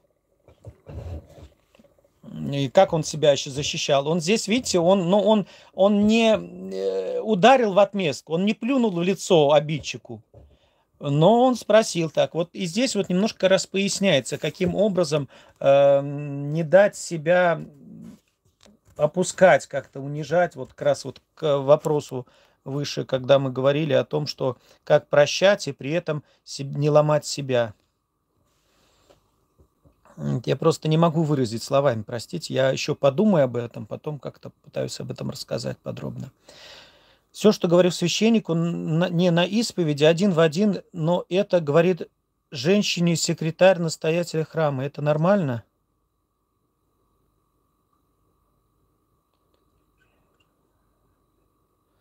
Ну, не знаю, смотреть, какие у вас отношения. Если Миша смущает вас это, то, ну, не разговаривайте с батюшкой, если батюшка сразу передает все другим. Я знаю, что случаи, когда батюшки потом жене своей рассказывают все, что слышали на исповеди. Это тоже. А потом жена шушукается там с кем-то там, над кем-то смеется после этого. Это, конечно, недопустимо. Ну, знаете, тоже бывает. У меня был случай, когда я в какой-то беседе, мне женщина писала в личку и там рассказала о проблеме, э, там, что, ну, проблеме, духовной проблеме серьезной какой-то. И я старался, ну, я максимально старался, ну, чтобы, как бы, чтобы ее трудно было узнать в этом, но упомянул ее случай. но это не была исповедь, но мне все равно за это было стыдно, потому что тоже получилось, что эта женщина меня в соцсетях заблокировала. Значит, она, скорее всего, тоже это увидела, и ее это смутило. Я поэтому искренне прошу прощения. Я стараюсь никогда так не делать. Если говорю, привожу в пример то, что я слышал как-то на исповеди, или там в личной беседе, или еще как-то, я стараюсь это завуали... завуалировать так, что нельзя было узнать этого человека никак, чтобы даже сам человек не смог себя узнать. Понимаете? Например, мне сказала женщина, а я говорю, что мне мужчина сказал так-то, так-то. Я могу так вот сказать. И чтобы это было, ну, чтобы это не смутило никого. Потому что очень обидно, когда ты в личной беседе священнику говоришь что-то, а он потом это транслирует на всю, на весь приход или то, на всю аудиторию. Как понять то, что Христос вы, выгнал силой, менял из храма? хотя сам учил не противиться злому, любить врагов и так далее. То есть был совершенно несовместим с импульсивностью или насилием. А вот, кстати, вот момент. Господь проявлял э, какое-то либо насилие, какое-то либо резкость э, в какой, в, как, когда? Я сейчас объясню. Тогда, когда храм превратили э, в дом торговли, дома, дом, он говорил, дома отца моего не, не превращайте в дом торговли. Это раз. И второе, когда э, обличал лицемерие книжников и фарисеев. Он никогда не употреблял насилие по отношению к грешникам, к блудницам, к э, предателям Родины, к изменникам, к убийцам, кому-то, кому бы то ни было, ни при, никакого усилия, никакого насилия ни к ним не прилагал. Вы заметьте а ругал только вот книжников и фарисеев. И вот за лицемерие. На Моисеевом седалище сели, сидят книжники и фарисеи, помните вот это вот? Тех, кто сидит на Моисеевом седалище, вот он их ругал. Вот он тогда только употреблял насилие. А блудникам, грешникам, коматарям, к прелюбодеям, каким, никому, никого не ругал. Никому никакого насилия не проявлял. Поэтому, когда оправдывают э, насилие тем, что Христос изгонял кнутом э, э, торговцев из храма, я говорю, ну вы выгоняйте торговцев, если хотите подражать этому, выгоните всех торговцев из храма. Всех торгующих и покупающих он выгонял, понимаете? Он и покупатели, а вы же покупаете в храмах? А чем вы лучше торговцы, тех, кто торгует? Вы покупаете, вы потворствуете тому, что э, покупаете у них. Так что это а, виновны и те, и другие. Что вам мешает просто так пожертвовать на содержание храма, чтобы платить за свет, чтобы содержать э, хор священников и уборщиц и так далее, если самим лень храм, полы в храме помыть, э, в котором вы сами топчете. Ну, как-то Зачем вам вот эти обязательно надо, чтобы свечку купить, и это написать, за денежки все купить, все продать.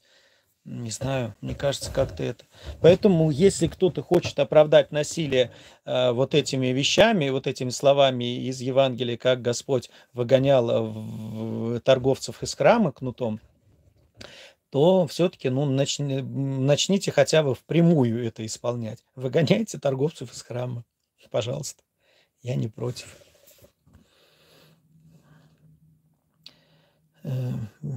Бесполезно подставлять вторую щеку, когда тебя хотят, когда тебе хотят снести голову. Зло после второй щеки потребует подставить и третью и так далее.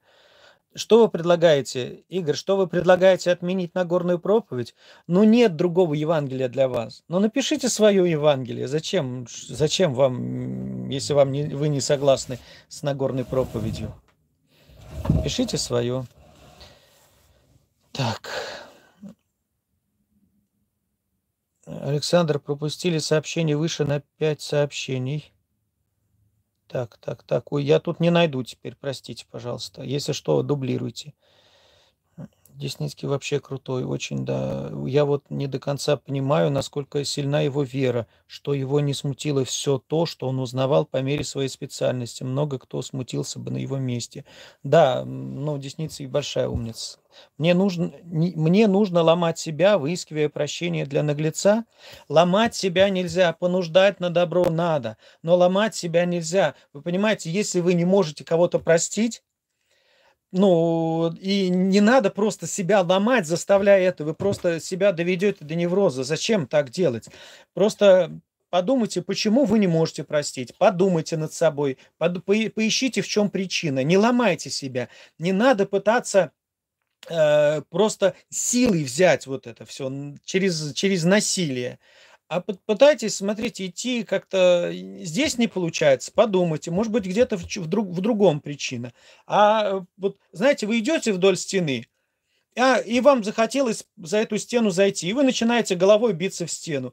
Вы пройдите, может быть, где-то там калитка есть. Не начинайте, не пытайтесь там все время эту стену головой пробивать. Посмотрите, может быть, где-то там калитка, ворота или там окошко, в которое можно пролезть. Идите дальше, просто попытайтесь решить проблему. Почему у меня не получается простить? Почему? Значит, я не вижу образ Божий в этом человеке. То есть, как объяснить? Хорошо, мои эмоции. Эмоции, ладно, потому что эмоции зашкаливают, ты злишься на человека. Вот, например, как мать может э, не злиться на человека, который, который убил ее сына? Ее ребенка маленького, она всю, всю жизнь будет злиться при воспоминании об этом человеке. Но она должна понять для себя, хорошо, чего я хочу? Чтобы он мучился всю жизнь и в аду потом горел. Либо чтобы он покаялся, исправился, попросил у Бога и у всех, перед кем виноват прощения, и попал в рай. Вот так вот надо подумать об этом, поразмышлять вот как-то, и, и тогда может быть, э, эта проблема решится. Но ломать себя не надо ни в коем случае. Ни в коем случае не надо потакать злу. Извините, иногда надо дать по зубам. Но в Евангелии я это не вижу, чтобы надо кому-то давать по зубам. Защищая другого надо, но как-то, но зло надо все равно минимизировать. Просто если пытаетесь оправдать свою злобу, ну, с помощью Евангелия у вас это не удастся. Лучше ветки завет используйте. Молитесь за Светлану. Помоги, Господи, Светлане. Что чаще всего делают люди на отпевании очным, что очень огорчает священника? Ну, я не знаю. По телефону разговаривают, телефон не выключают шумят, отвлекают. Ну, не знаю, как-то. Ну, понимаете, если вы приходите, если вы воспитанный человек, у вас этой проблемы не будет. Просто люди, когда тут проблема не то, что незнание, не вос... а просто проблема невоспитанности. Вот воспитанный человек, он пытается ставить себя на место другого человека. Он пришел, он пришел, ты приходишь в храм, ты приходишь для чего? Чтобы помолиться. Ты встаешь где-то, тебе не надо там ходить, что-то рассматривать. Вот началось богослужение, ты встаешь, глаза закрываешь и стоишь, молишься, слушаешь то, что читается, что поется. У тебя нет необходимости там ходить, правильно креститься, обходить там, там, там. Нет, просто у него человек э, есть необходимость только молиться. А если невоспитанный человек, он будет там ходить по храму, шуметь там, людей толкать. Ну, это просто невоспитанность. По телефону разговаривать во время богослужения. Но это не только во время богослужения, это в любом нормальной обстановке. Знаете, когда где-нибудь э, в общественном месте, там в автобусе кто-нибудь громко разговаривает по телефону на весь автобус. Ну, не всем интересно, что он там, что у него за дела. Вы же, когда разговариваете по телефону, возьмете телефон потихонечку, да, мам, привет. Да, да, да, да. Мам, давай я тебе позже перезвоню, потому что я здесь в, типа, в автобусе, чтобы не мешать никому. Давай, мам, я приеду, перезвоню тебе. Вот так, потихонечку, чтобы никому не мешать. Ну, это просто элементарная воспитанность. Или, не знаю, сидите в театре, в кино и начинаете там болтать с кем-то или говорить по телефону, это, конечно, будет очень многим мешать. Поэтому, или там пакетами шебуршать. Ну вот ну, просто ставьте себя на место другого человека, и все. Скажите, пожалуйста, а в тех храмах, где вы сейчас служите, стоят ценники? Вы не настоятель, насколько помню, но с, с ним, наверное, обсуждали это – Да, в тех храмах, где я служу, стоят ценники, и я, ну, говорю, я не настаиваю, понимаете, я не пытаюсь сразу что-то менять. Это не в зоне моей ответственности. То, что в зоне моей ответственности, я делаю. То, что не в зоне моей ответственности, меня не беспокоит.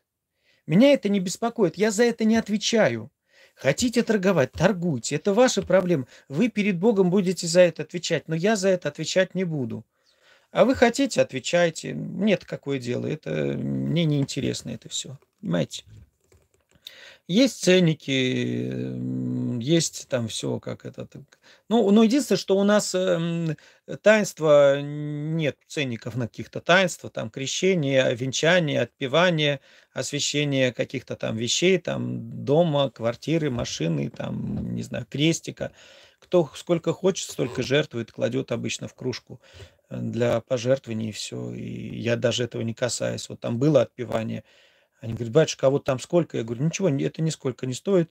Он говорит, ну а как же? Я говорю, ну если хотите пожертвовать, вон там есть кружка, ящик для пожертвований, можете кидать туда, сколько считаете нужным. У нас вот так вот. А свечи и записки, там книжки какие-то, они платные.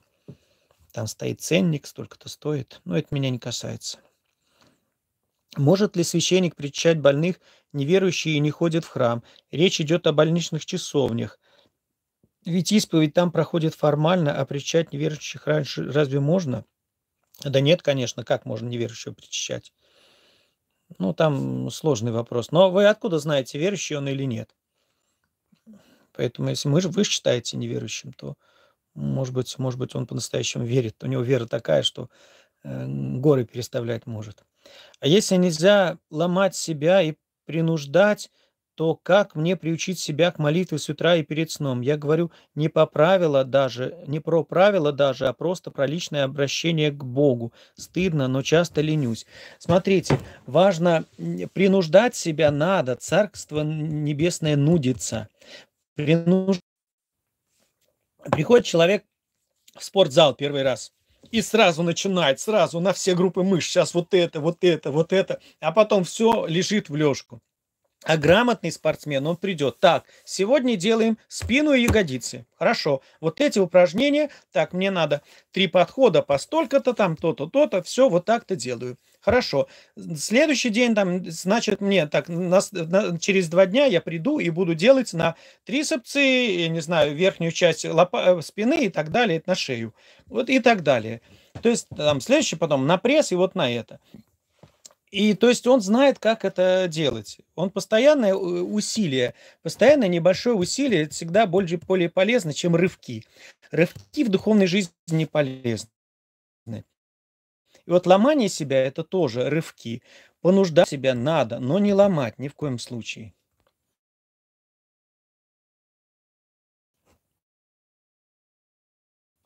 Как о святке. А в моем храме в воскресенье весь э, приход положил, допуская, что это просто у этого прихода сложилась такая традиция. Так какая разница, кто когда кладет священные поклоны? Хотите класть священные поклоны? Кладите.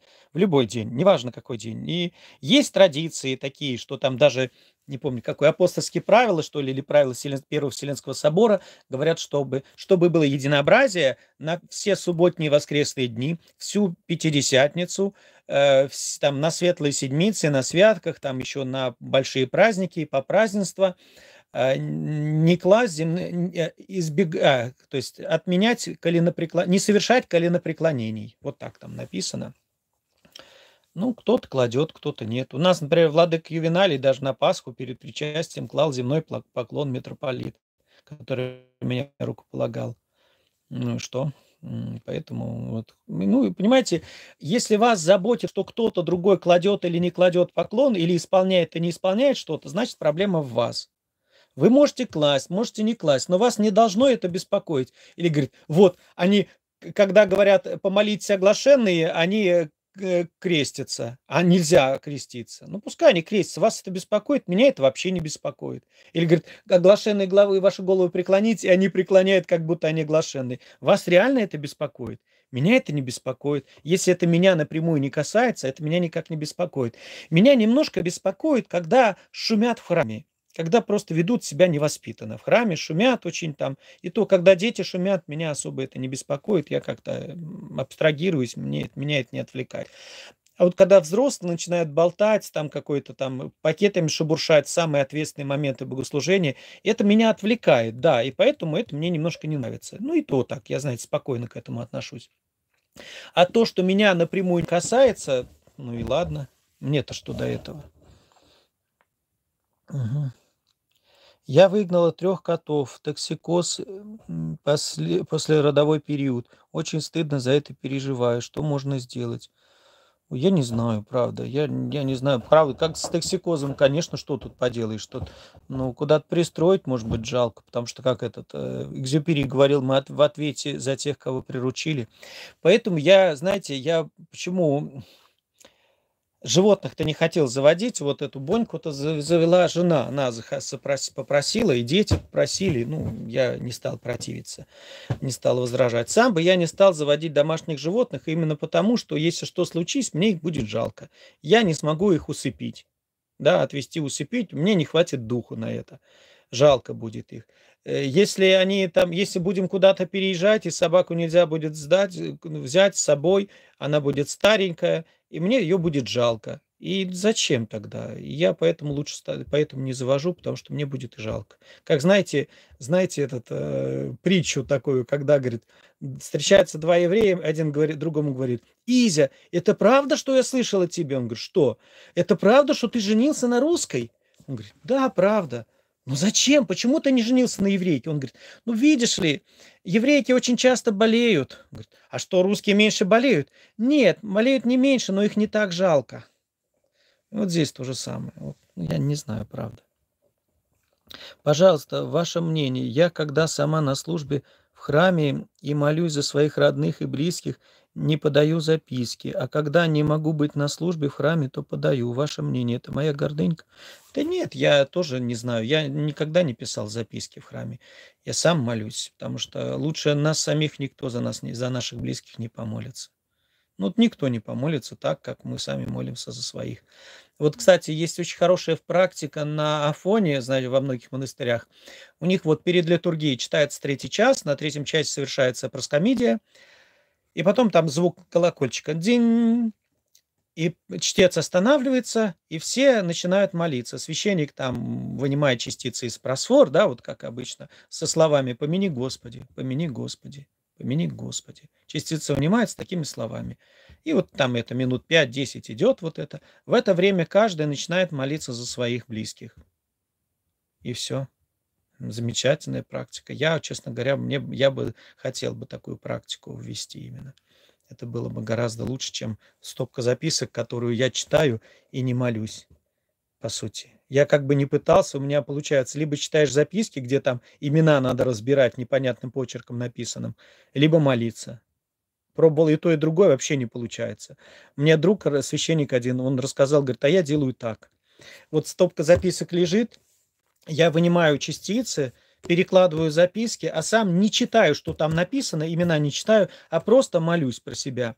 Господи, помяни всех, кто здесь написан, всех близких наших родственников, всех, кто здесь больные, кто несчастные, у кого там какие проблемы есть. Ты знаешь каждого проблему, каждого человека, каждое имя этого человека знаешь, Господи, и Ты помяни их, дай им все нужное для спасения, все, что э, приведи их к вере и познанию истины. И, говорит, молюсь своими словами, и, говорит, у меня прям вот, ну, действительно молитва идет, я от души так молюсь. Такая практика очень, мне кажется, вполне такая. Но она, она не по правилам, это с нарушение, нарушение всех правил будет, но мне кажется, она более правильная с точки зрения как-то Евангелия. Ну, мне так кажется. Она не формальная, но очень правильная. Я вообще никогда записки не писал. Молитва и весь духовный труд – это понуждение, всегда напряжение, и идти против лени и своей плоти. Если лень молиться Богу, то кто, так, то кто такой Бог? Волшебная палочка, слуга, исполнитель наших желаний и прощений. Нет, Игорь Каранденко, знаете, вы не правы, потому что постоянное напряжение – это тоже неправильное. Постоянное вот это внутреннее напряжение – ну, вы доведете себя до невроза, и потом будете срываться на всех, будете кричать, ссориться, и в духовной жизни не, достигнете чего, каких-то успехов. Важно в духовной жизни постоянное усилие, ровное, спокойное усилие. Вот кто бегал э, кроссы на большие дистанции, там, не знаю, там, ну, хотя бы 3, 5, там, 10 километров, бежишь ты вот эти 5 километров. Как надо бежать 5 километров? То есть выбираешь тот темп, который не будет тебе в тягость, в котором ты спокойно сможешь пробежать всю дистанцию. И все, бежишь без остановочки, спокойненько, не напрягаясь особо. Но ты пробегаешь всю дистанцию. Если ты решишь, ну, возьмешь, говорит, все равно буду бежать изо всех сил, у тебя дыхание собьется, ты пробежишь 300 э, метров, и у тебя все отдышка, и тебе, ты остановишься, и в итоге ты не добежишь. Тебе нужен один темп ровный, которым ты можешь добежать всю дистанцию. И в духовной жизни то же самое. Надо бежать, вот как вот, чтобы хватило на всю дистанцию. Не рваться не, и чтобы не было вот этих качелей, то подъем духовный, то полный упадок отчаяния. Нет, такого не стоит, такого надо избегать. Постоянное, ровное, небольшое усилие, без рывков. У Бога все дорого и дорогое, так что копим драгоценное на Царство Небесное. Да, Анастасия, замечательные слова. А как можно с вами связаться? С Дмитрий Гладышев. У меня друг Олег Гладышев, кстати. Со мной можно э, связаться ВКонтакте, э, в Телеграме. Лучше в, Телеграме со мной связаться. Напишите в обсуждениях, в любом комментарии, там, под, под любым видео, ой, под любым постом на моем, моем Телеграм-канале Александр Страдымов. Напишите, говорит, батюшка, как вам написать в личку? Я лично вам в личку отвечу, и вы мне можете там писать, ладно? Интересно, что помешало найти, кому отдать котиков? Чего вы достали? Человек и так мучается из-за этих котиков, а вы еще э, на рану соль сыпите. Не надо. Так, видела в храме объявление. За разговоры в храме попускаю со скорби. Мне очень помогло. Я так, впечат... я так впечатлилась и запомнила, и стараюсь исполнять. Уж очень скорбеть не хочется. Это слова Амвросия Оптинского. Как отличить бесноватого от психически больного? Не знаю. Эм, у меня есть, был пост, называется «Кликуши». Посмотрите, может, найдите «Кликуши». Там я привожу воспоминания этого самого отца Иоанна Розанова, кажется, из книги «Записки сельского священника». Спаси Боже вас, отец Александр. Кстати, иногда бывает просто очень сложно понять, где э, психически больной, где бесноватый. Чаще всего там и то, и другое смешано. В, в основном то и другое смешано. И беснование, и психическое расстройство. Поэтому надо, я со многими психиатрами разговаривал, что они мне говорят, что надо э, священникам с психиатрами вместе работать по, по многим э, больным. Батюшка, просто меня направили в больничный храм на послушание. Ходим по палатам и записываем людей на исповедь и причастие. Но люди, правда, неверующие. Как же их причащают? Ну, как, что значит неверующие? Просто не ходит в храм постоянно – но есть, спрашивают, если человек верит, что там истинное тело, истинная кровь Христова, они причащаются. Поэтому вы, вы верите в Бога, а, вы хотите, может быть, кого-то не причащают, кого-то просто исповедуют, они не готовы еще к причастию. Но просто спрашивайте, если они верят в Бога, почему бы им не встретиться со священником, если у них есть такое желание. Вон, апостолы по всему миру ходили, чтобы встретить тех, кто хотят слышать Слово Божие. А тут люди сами э, записываются, чтобы послушать Слово Божие. Так, на Рождество э, привела деток на всеночную в родной храм. Посещаю больше 12 лет. Дети стояли в уголке возле елки. Дочке два года. Она часто задавала мне вопросы. Я старалась, чтобы она была тише, но не всегда выходила. Пару раз она уронила с елки пластиковый шарик и надела снова. Все перечисле, выше перечисленное ввело в гнев церковную бабушку, она сделала резкое замечание. Понимаете, у меня, если бы бабушка сделала в храме замечание, вот резкое замечание кому-то, я бы выгнал ее из храма храме детям могут делать замечания только их родители. И если ты такая нервная, пей успокоительно, или молись дома, или приходи только к причастию. Ну, если такая нервная, если не можешь с людьми нормально уживаться.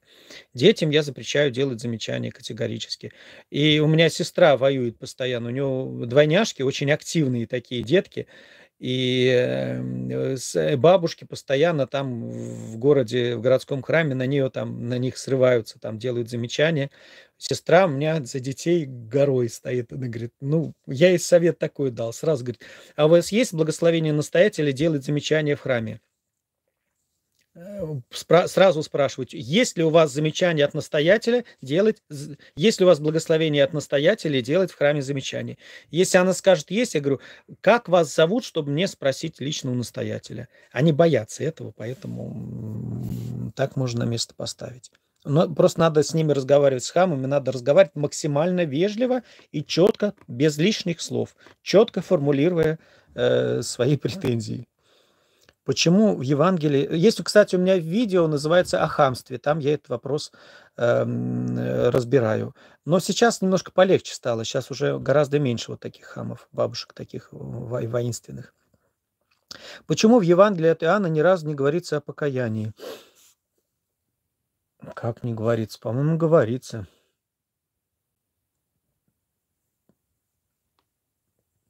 Не знаю, не знаю. Не обращал внимания. Если честно, у меня случился нервный срыв. Один из моих детей с неврологией. Э, они вели себя не безобразно, а как обычные дети, никому не мешали. Я не могу вернуться в мой храм из-за этого инцидента. Я понимаю, что просто не смогу видеть, вводить туда детей. Просто отец Александр, простите, Александр, отец Александр, просто крик души. Да, это проблема, но сейчас гораздо лучше стало об этом. Э, гораздо проще и лучше, поэтому поэтому обратите, все-таки мало таких храмов, где командуют бабушки. Истеричные, хамоватые такие. Потому что много бабушек у нас на приходе, например, знаете, какие бабушки? Вот у нас бабушки, вот сейчас вот две сестры особенно были, они э, вот одна, баб Таня и баб Вера. Вот баб Таня, она, э, ей 101 год был, она умерла вот в этом, в прошлом году. А тетя Вера, слава богу, и жива, 94 или 95 лет сейчас ей. И знаете, какие добрые? Вот они приходят, когда детки приходят, местные детки в храм, и они сразу к этим бабушкам обниматься лезут. Настолько они такие хорошие. Они никогда никаких скандалов не поднимают. Они прям вот, есть замечательные бабушки, у нас, у нас в храме замечательные бабушки. Прям они, они там детка, деткам конфет, конфеток надают. Они там э, улыб, сразу вот, ну, добрые такие, прям настоящие верующие бабушки. У нас с этим как-то получше. Э, так, э, расскажите, пожалуйста, об Иисусовой молитве. Ну, знаете, отдельное видео можно бы снять, но об этом слишком много говорят уже и так много. И я хорошо о Иисусовой молитве я не расскажу.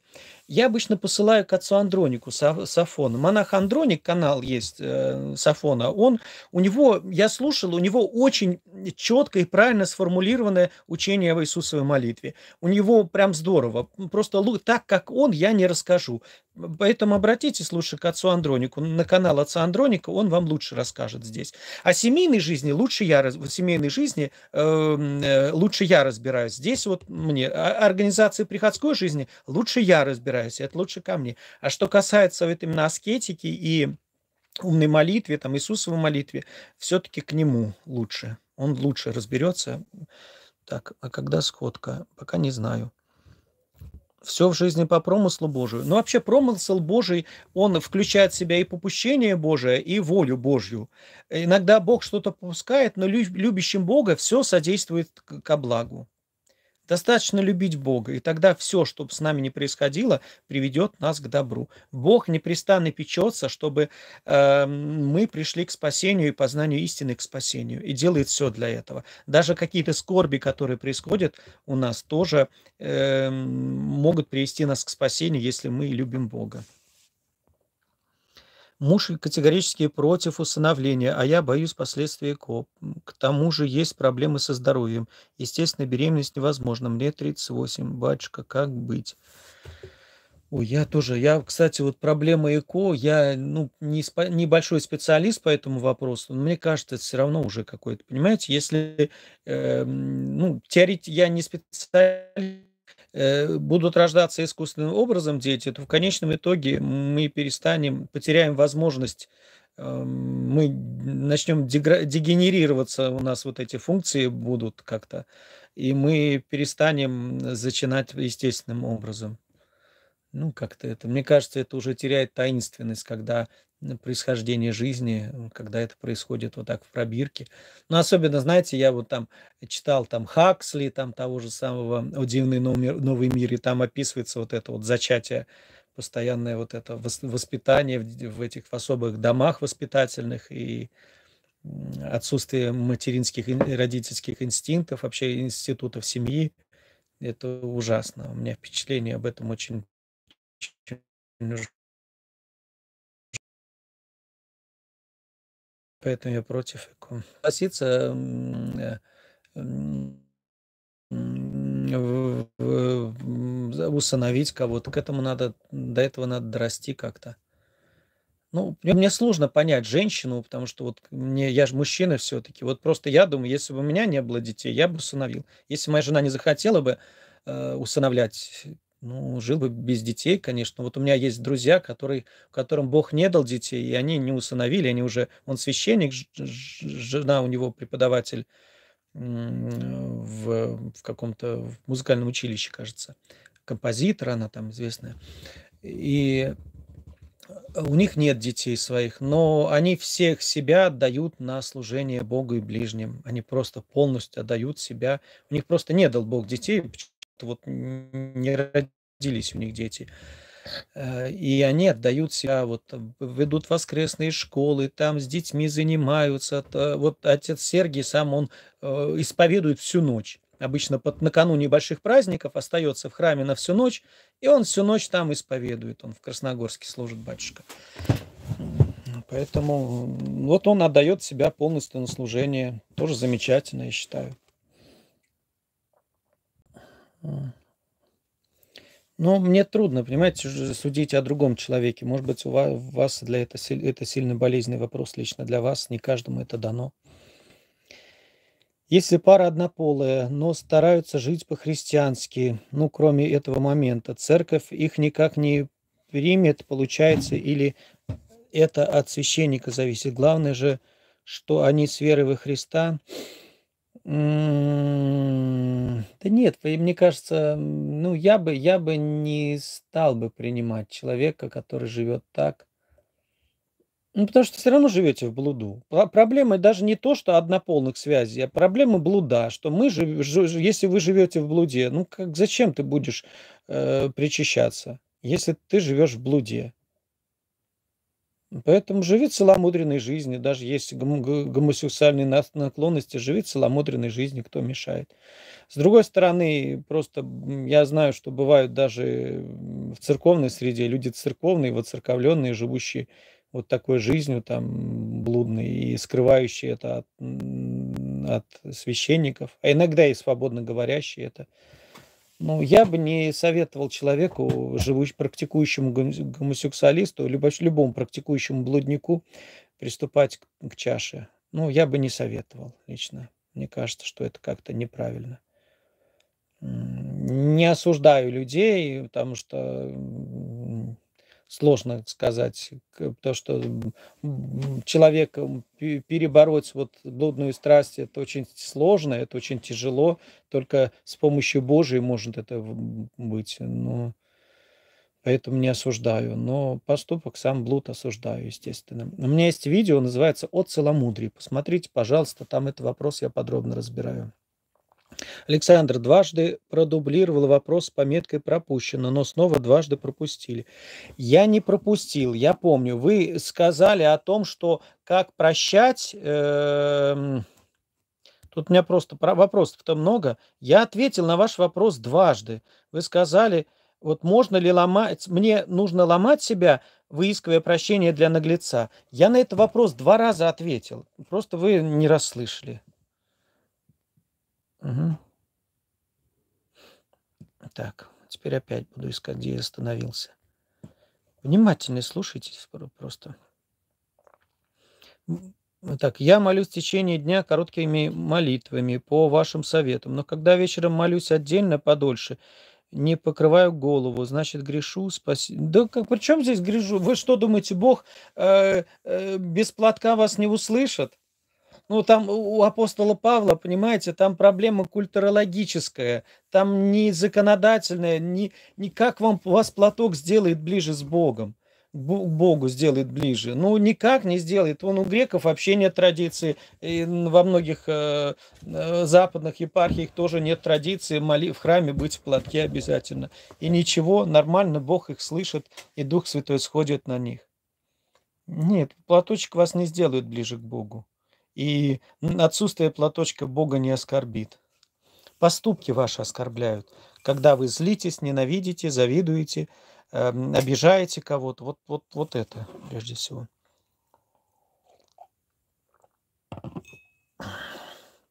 Как приучить себя регулярно общаться, обращаться к священному писанию? Как это, приучить себя? Ну, знаете, как дорога осилит идущий. Просто начинайте читать, и все. Садитесь и читайте. Просто полюбите Священное Писание. Э, слушайте, если у вас вот нет сил читать Писание, послушайте то, что вас вдохновляет на чтение Священного Писания. Прочтите что-то там, не знаю, там из, из чего-то легкого, но что настраивает на это. Вот если бывает у меня какая-то депрессуха, я не могу выбраться из нее, какая-то вот духовная яма, начинаю тогда слушать что-то такое, знаете, там, не знаю, там, ну, например, там какие-то лекции, которые не столько о духовной жизни, столько вообще об общецерковной. Не знаю, лекции Кураева, например, да? Старые лекции Кураева. Вот послушал как-то, так, немножко вдохновился, дальше можно послушать что-то более такое духовное, какие-то проповеди послушал, там, не знаю, отца Петра Мещеринова. Отец Петр Мещеринов уже настраивает на чтение духовной литературы. Дальше уже можно открывать Евангелие, э, Священное Писание читать и книги святых отцов, и уже дальше можно молиться спокойно, когда из, так выбираешься из духовной ямы. Во время службы я поговорила с некрещенной женщиной тихо, которая хочет умзот суицида. Умзот, умзот, прости, не понял. Это плохо, при... это плохо придумала, которая хочет умзот суицида, это плохо придумала. Простите, я не понял. Переформулируйте, пожалуйста, свой вопрос. Что такое материальный матерный язык? Почему его никто не понимает? Не знаю. Батюшка, если спасение только в православной церкви, то как спасает Господь протестантов? Сама была протестанткой, но Господь привел церковь.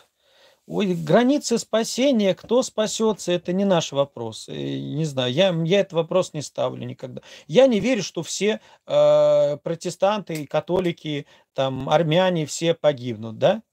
Э, я не верю так. Я знаю, что Господь Христос, э, Христа познают там. Вот, вот я не знаю, вот тот этот отец эм, Петр Мещеринов переводит сейчас э, немецких пиетистов. Вот я читал Герхарда Терстегена. Ну, ну, я уверен, что он тоже знал Христа, что Дух действ... Святой действовал в нем. Ну, мне, у меня такое впечатление создалось. Хотя он был э, там лютеранином или кем-то. А когда дети по храму бегают и кричат, тоже нельзя делать замечания, если родители своих детей не успокаивают. Как в храмах, э, храме тогда молиться? Идите в другой храм, где нет детей. А вы, вы что, вы имеете... Нет, смотрите, есть это... Или обратитесь к настоятелю на приходском собрании. Вот есть приходское собрание. Подойдите к настоятелю, говорит, батюшка, у нас такой... Давайте поднимем такой вопрос. Э, дети в храме мешают молиться. Как нам быть? Давайте об этом поговорим. Давайте, может быть, устроим детский уголочек, чтобы дети могли спокойно там сидеть, рисовать, которые не могут сидеть, гиперактивные, которые... Или детскую площадочку на улице, чтобы они там могли успокоиться устроим дежурство, э, детскую комнатку отдельную какую-то, устроим дежурство, чтобы кто-то там по очереди дежурил, смотрел за детьми, чтобы мамы могли спокойно в храме молиться, э, не бегая к детишкам. Э, ну, этот вопрос надо решать. А замечание делать, если вас, вам никто на это не поручал, все-таки, если вас община на это не уполномачивала делать замечания, не делайте замечания, иначе будете перед Богом за это отвечать. А если вы сделаете замечание как-то, ну, с раздражением, а человек обидится и не станет в храм больше ходить, вы будете на страшном суде отвечать за его неверие? И еще могу сказать, никогда никому не делайте замечания, пока не помолите за человека так, что сердце аж сожмется. Вот только тогда делайте замечания. Объясните, почему православные молятся святым? В Библии сказано, что надо молиться только Богу и молиться друг за друга, но не сказано, что надо молиться умершим. А у Бога нет умерших, все-таки поймите, что у Бога умерших нет. У Бога все, Бог не мертвых, но живых потому что у Бога все живы, во-первых, поэтому э, у Бога все живы. Мы просим, вот смотрите, мне здесь просили, батюшка, помолитесь вот об этом-то. Мне часто пишут, говорят, батюшка, у меня сейчас очень серьезная проблема в жизни, помолитесь. Хотя я вообще не святой. У моей жены спросите. И, э, и вот и все равно все-таки по моим молитвам Господь как-то что-то помогает. И здесь тоже обращаемся к молитве. Но часто в народном сознании язычество, языческое понимание происходит святым, и, и они понимают, что так, а, покрови, чтобы, чтобы дождь пошел, надо молиться пророку Илье, чтобы там от зубной боли надо молиться Антипе Пергамскому, чтобы там, не знаю, голова прошла, надо читать, молиться Казанской иконе Божьей Матери. Казанской Божьей Матери, вот так вот говорят. Вот это уже, конечно, языческий такой подход это уже язычество. А обратиться к человеку с молитвой, даже вот который, который перед престолом Божьим предстоит. У Бога нет живых и мертвых. У Бога все живы. И я не, нет, понимаете, я не молюсь святым практически. Вот потому что почитание святых, как говорит Григорий Богослов, состоит э, в подражании их жизни. Апостол Павел же говорит, подражайте мне, как я подражаю Христу. И когда я обращаюсь с молитвой к святым, как правило, вот, например, эм, читаю книгу вот, любимых каких-то авторов моих, например, эм, книгу э, Силана Афонского, да, я когда читаю его, вот я молюсь, к ему обращаюсь, преподобный очень Силан, научи меня тоже э, так же молиться, как ты молился, научи меня так же любить Бога, как ты любил. А, попроси Бога, чтобы Он мне открыл то, что открыл тебе. Я иногда так вот молюсь, обращаюсь как-то. Но, естественно, но это вопрос тоже очень сложный, потому что у меня нет четкого ответа на этот вопрос, потому что у меня нет потребности обращаться к святым, лично у меня. Я обращаюсь с молитвой к Богу сразу же. Кто-то считает, что нет, э, значит, Бог слишком занят, и мы его, чтобы не беспокоить, будем обратимся к Николаю Чудотворцу и к, к Матронушке. Нет, это, конечно, абсурдно. Или, или э, значит, э, Богородица нам ближе, поэтому обращаться будем к ней, а не к самому Богу. Ну как же, разве Бог не стал человеком? Бог не стал одним из нас? Разве Богородица умерла за нас? Нет, Господь умер за нас. Не во имя Богородицы мы были крещены, во имя Иисуса мы были крещены. Поэтому молимся, обращаемся к Нему, Он нам и так ближе, Он, так, он стал одним из нас. У меня нет необходимости молиться святым. Если у кого-то еще такое сознание языческое, кто, кому надо обязательно от зубной боли прочитать Акафис Антипе Пергамскому, ну, это да, языческое сознание. Но не ругайтесь на людей так, не, не сердитесь на них. Пока такое сознание, потихонечку люди откроют Библию и познают Бога и во всей полноте. Слава Богу, хоть так. Я думаю, вы напрасно боитесь ЭКО. С репродуктивным здоровьем все хуже с каждым поколением. Это просто способ лечения. Ничего античеловеческого или антихристианского тут нет. Нет, понимаете, проблема ЭКО в чем? Что э, они работают не с одним эмбрионом, а сразу берут там, оплодотворяют там 10 эмбрионов. Естественно, 10 эмбрионов вы не будете себе подсаживать. Вы возьмете одного-двух, остальных уже оплодотворенных эмбрионов, по сути, это уже люди. После зачатия это уже человек. Их выливают в унитаз. Людей выливают в унитаз. Мне, мне это как-то, ну, для, для моего понимания это недопустимо. Я как христианин не могу это понять. Как вот получается выльют в унитаз других вот эмбрионов – ну, если вы будете, конечно, всех эмбрионов, ну, у нас в России этим не занимаются, если, насколько знаю, что, что всех эмбрионов вынашивать там 5-8 вы не сможете вряд ли сразу же. А потом, или вот тоже как, они замораживают их, а потом куда-то, э, когда надо, размораживают и делают, там где-то хранят это. Ну, мне кажется, это уже какое-то, ну, извращение, простите уж. Не знаю, я, я, я не могу. Я, конечно, не мать, мне трудно понять все это. И не биолог, не эмбрионолог, но я не понимаю это, простите. После выхода из храма увидели, что у меня очень короткая стрижка и волосы крашены. Сказали, не должна этого делать, мне 65, а муж, муж просит красить. Делаю так ради него, как быть. А кто вам указывает, как вам себя вести?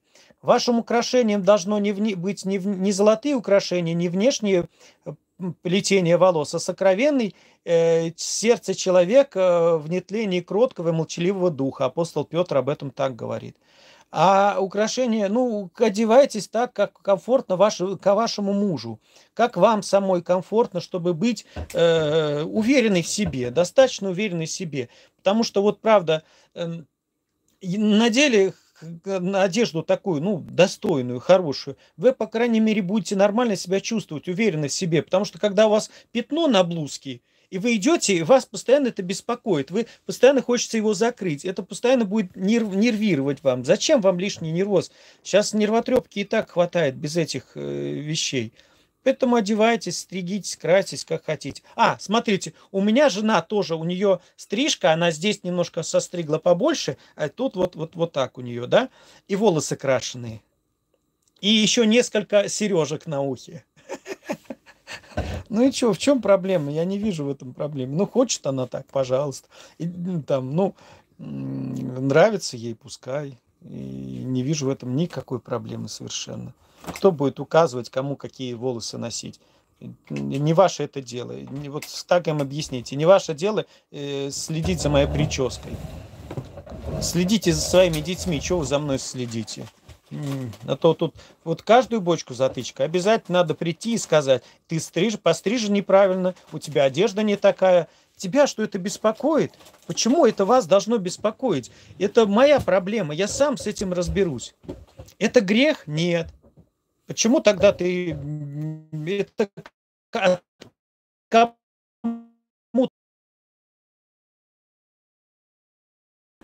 не надо, не резко бросил курить. Что делать? Я неадекватен.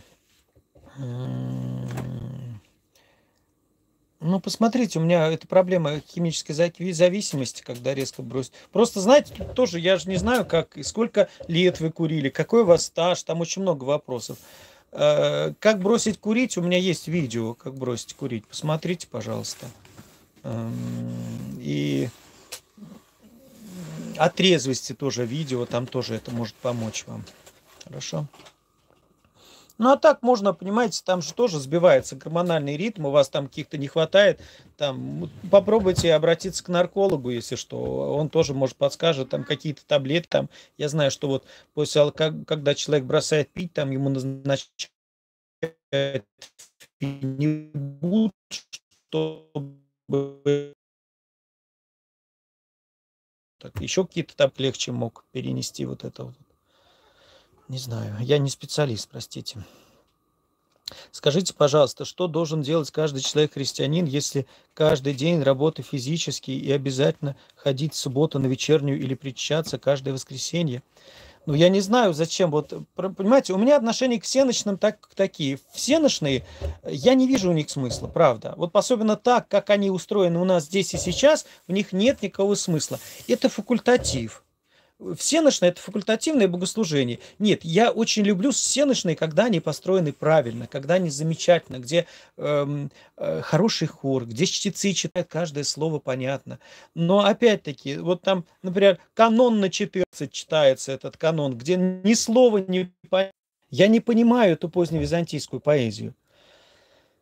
Поэтому не знаю, я не очень. А, а псалмы, когда поются, вот я очень люблю псалмы библейские песни, там, ну, вот стихи Актоиха воскресные очень люблю, они мне очень нравятся. А каноны так себе, не мое, не, не понимаю. Поэтому соотносите со своими возможностями все это. Там, конечно, здорово бы каждое воскресенье быть на службе, но смотря какой храм вы найдете. У меня многие прихожане, особенно там, не знаю, многодетные, они приезжают иногда буквально к середине, там, ближе к концу службы и причащаются с детьми сразу же. И потом могут уехать сразу. Ну, по-всякому. Или остаются чай пить. Ну, по-всякому бывает. Это...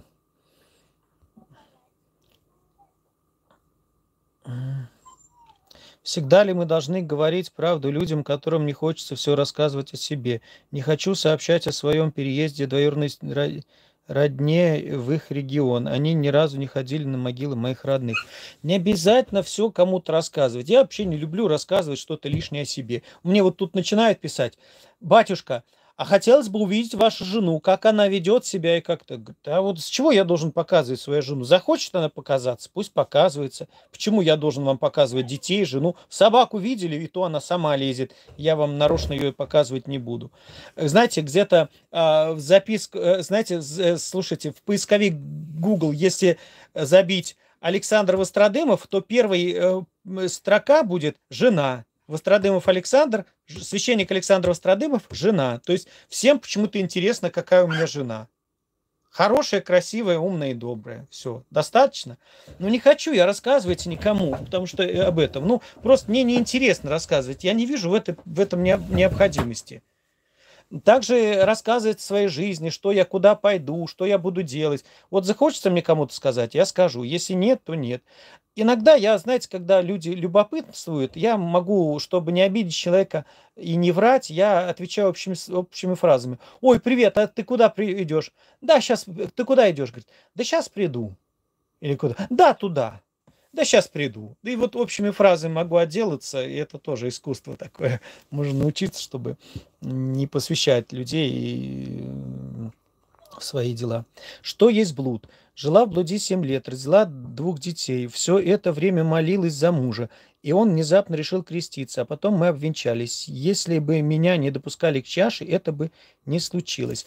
Нет, это не является блудом. Если, супру... Если э, мужчина и женщина много лет живут вместе и нажили детей уже, э, у них есть там ребенок уже, и э, но муж, допустим, не хочет венчаться, а жена хочет, ну, хочет а, оформить свои отношения официально, то вот жена может причащаться, а муж не может причащаться, потому что он не хочет жениться.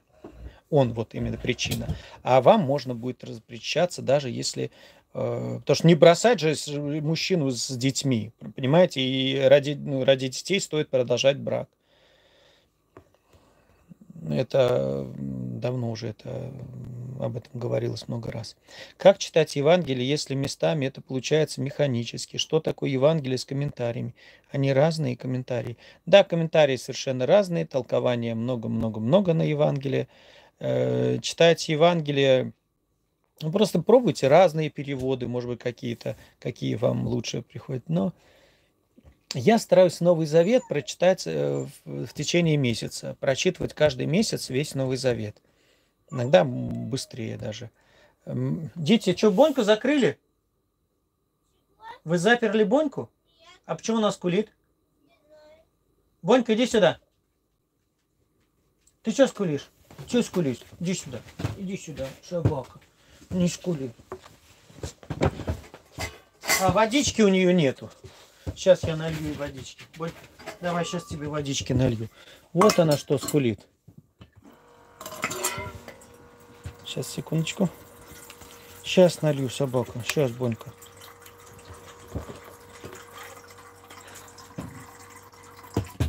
Иди. Боня.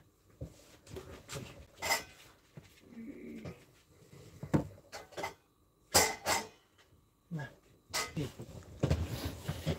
Пей водичку. Так, поэтому Евангелие, ну, очень хорошо, когда есть какой-то евангельский кружок, когда можно вместе читать Евангелие, обсуждать, тогда легче понимать Священное Писание, когда есть евангельские кружки, библейские кружки, когда собираются несколько человек вместе и читают Евангелие. У нас не, это не в нашей традиции, у нас нету такой традиции в России, только-только зарождается это, но традиция замечательная, когда есть или на приходе библейские кружки, вместе собираться, читать Евангелие совместно, как мы его поняли, смотреть толкования какие-то. Это замечательно. Так.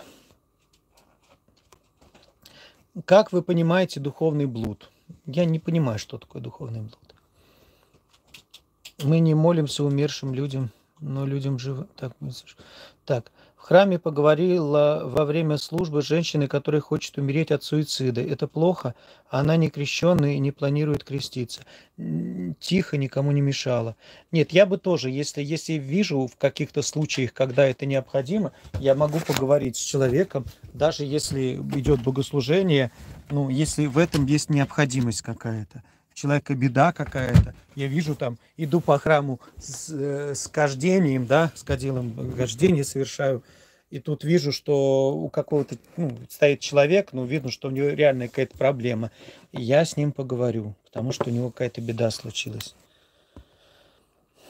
Даже если это кому-то помешает, но просто надо оценивать риски, то есть что, от чего больше пользы будет, от чего больше вреда. Так, как понять, если хотелось в монастырь, и тут встречаешь человека? Как понять, это искушение или воля Божья? Человека в смысле влюбляешься. Не, понимаете, что касается монастырей, у меня есть видео о монашестве. Если вас одна миллионная не хочет становиться монахом, то не становитесь им. Поэтому человеки, это знаете, как говорю, если можешь не писать стихов, не пиши. Можешь не пророчествовать, не пророчествуй. Можешь не уходить в монастырь, не уходи. Можешь не становиться священником, не становись. И здесь вот, вот очень важно это. Э, посмотрите видео о монашестве, там подробно этот вопрос разбираю. Поэтому, если у вас это, не думайте, искушение это или не искушение, Э, может быть, наоборот, волю Божию вы хотите, вы можете спастись именно в браке, в семье. Может быть, такова воля Божья. Вы же не можете сказать. А, о монашестве думают все верующие, хоть хоть раз думали, задумывались о монашестве, как правило. Вот я знаю, что всегда кто-то задумался. Я тоже реально собирался стать монахом, несколько раз откладывался постриг. Я прям всем естеством своим жаждал монашества. Но потом, говорю, как я стал сильно болеть, э, когда больной вернулся, пока лечился, лечился, лечился много лет, и я уже произволение к монашеству перегорело, просто перегорел уже к монашеству, и тогда решил, что все-таки ну, надо как-то устраивать жизнь свою, как-то надо начинать думать как-то здесь одному жить не полезно, и тогда уже пришел к осознанию, что мне надо жениться. Навряд ли эта женщина пришла в храм за благословением на суицид. Наверное, все же она пришла на благословение за жизнь с Богом. Да, согласен.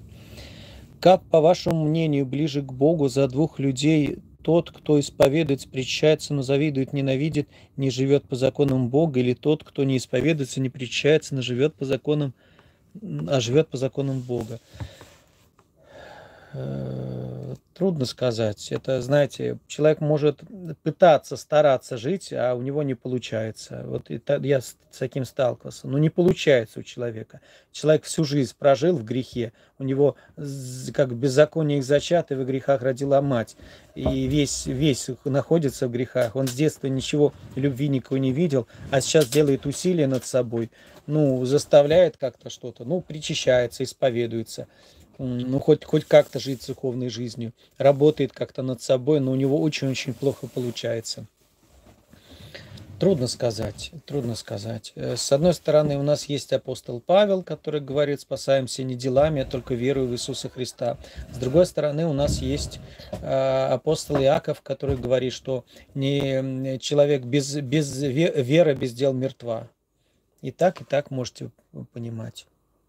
Нет ответа на этот вопрос. Подскажите, ли можно ли ходить в монастырь, где не принимают святейшего, не, не, понима, не поминают святейшего патриарха Кирилла? Угу.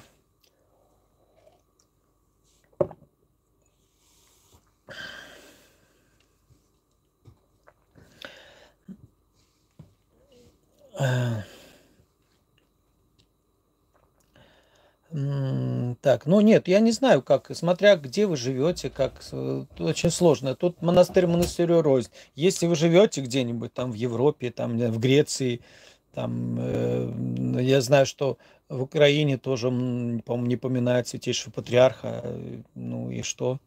И даже, даже сам святейший патриарх разрешил э, молиться в тех храмах, где его не поминают. Даже он сам разрешил так вот, если уж на то пошло. А есть откровенные раскольники, там, которые, знаете, ну, там, православие головного мозга. Просто смотрите там, как это происходит. Так, мне 46 э, рак. Хочу любви очень, но боюсь потерять венец детства. Как быть? Ой, не знаю, я не знаю, как быть. Потому что иногда, может быть, это гормональная проблема, вот это вот, то есть хочется любви, это иногда, иногда бывает проблема гормонов, у вас просто вот это очень трудно себя сдержать там. Плюс, когда онкология, там еще какие-то гормональные препараты могут вас выписывать, там все что угодно может быть. Эм, не знаю. Ну и брак любой тоже хороший. Ну, понимаете, брак, рак, рак у вас, э, ну, может быть, он все-таки излечим.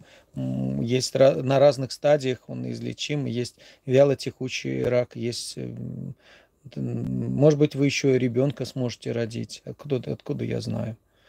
Честно супружество и ложе не скверно. А с другой стороны, если вы хотите, апостол Павел говорит, кто женится, тот поступает хорошо, а кто хранит детство, тот поступает лучше. Тут выбор между хорошим и лучшим. Тут нет, нет выбора между хорошим и плохим. Хорошее и лучшее. Вот, вот так. Ну, по словам апостола Павла, так. Поэтому тут иногда бывает проблема гормональная. Все-таки иногда можно к врачу обратиться с, этой, с, с, этой, с этим вопросом, когда вот эта жажда любви иногда часто, часто именно недостаток именно в сексуальном плане. И это происходит чаще всего, вот если то, что вы сказали, из-за проблемы гормональной проблемы, и это все-таки иногда все-таки можно как-то купировать эту проблему иногда чтобы избежать, ну, хотя бы чтобы избежать блуда и чтобы нервоза, потому что от этого может стать неврастенником от, от постоянно вот этого брани, брани, которые возникают у вас. С другой стороны, если есть хороший мужчина, который рядом с вами, который, с которым можно заключить брак, то почему бы нет? Монастырь – это не четыре стены и черная одежда. Думаю, если Бог будет вас призывать, вы не сможете отказаться – а монастырское устроение души может быть у мирского человека. Ну да, согласен. Монах Андроник очень агрессивен, если это он вообще. И коммен... в комментариях пишет, откровенно и грубо оскорбляет людей, которые высказывают свое мнение в совершенно агрессивной форме на тему СВО. Ну, знаете, у них просто на фоне своей заморочки, они очень, у них очень не, такая непримиримая позиция по этому поводу. И, но отец Андроник все-таки, нет, он никого, он, я не видел, чтобы он кого-то оскорблял просто, но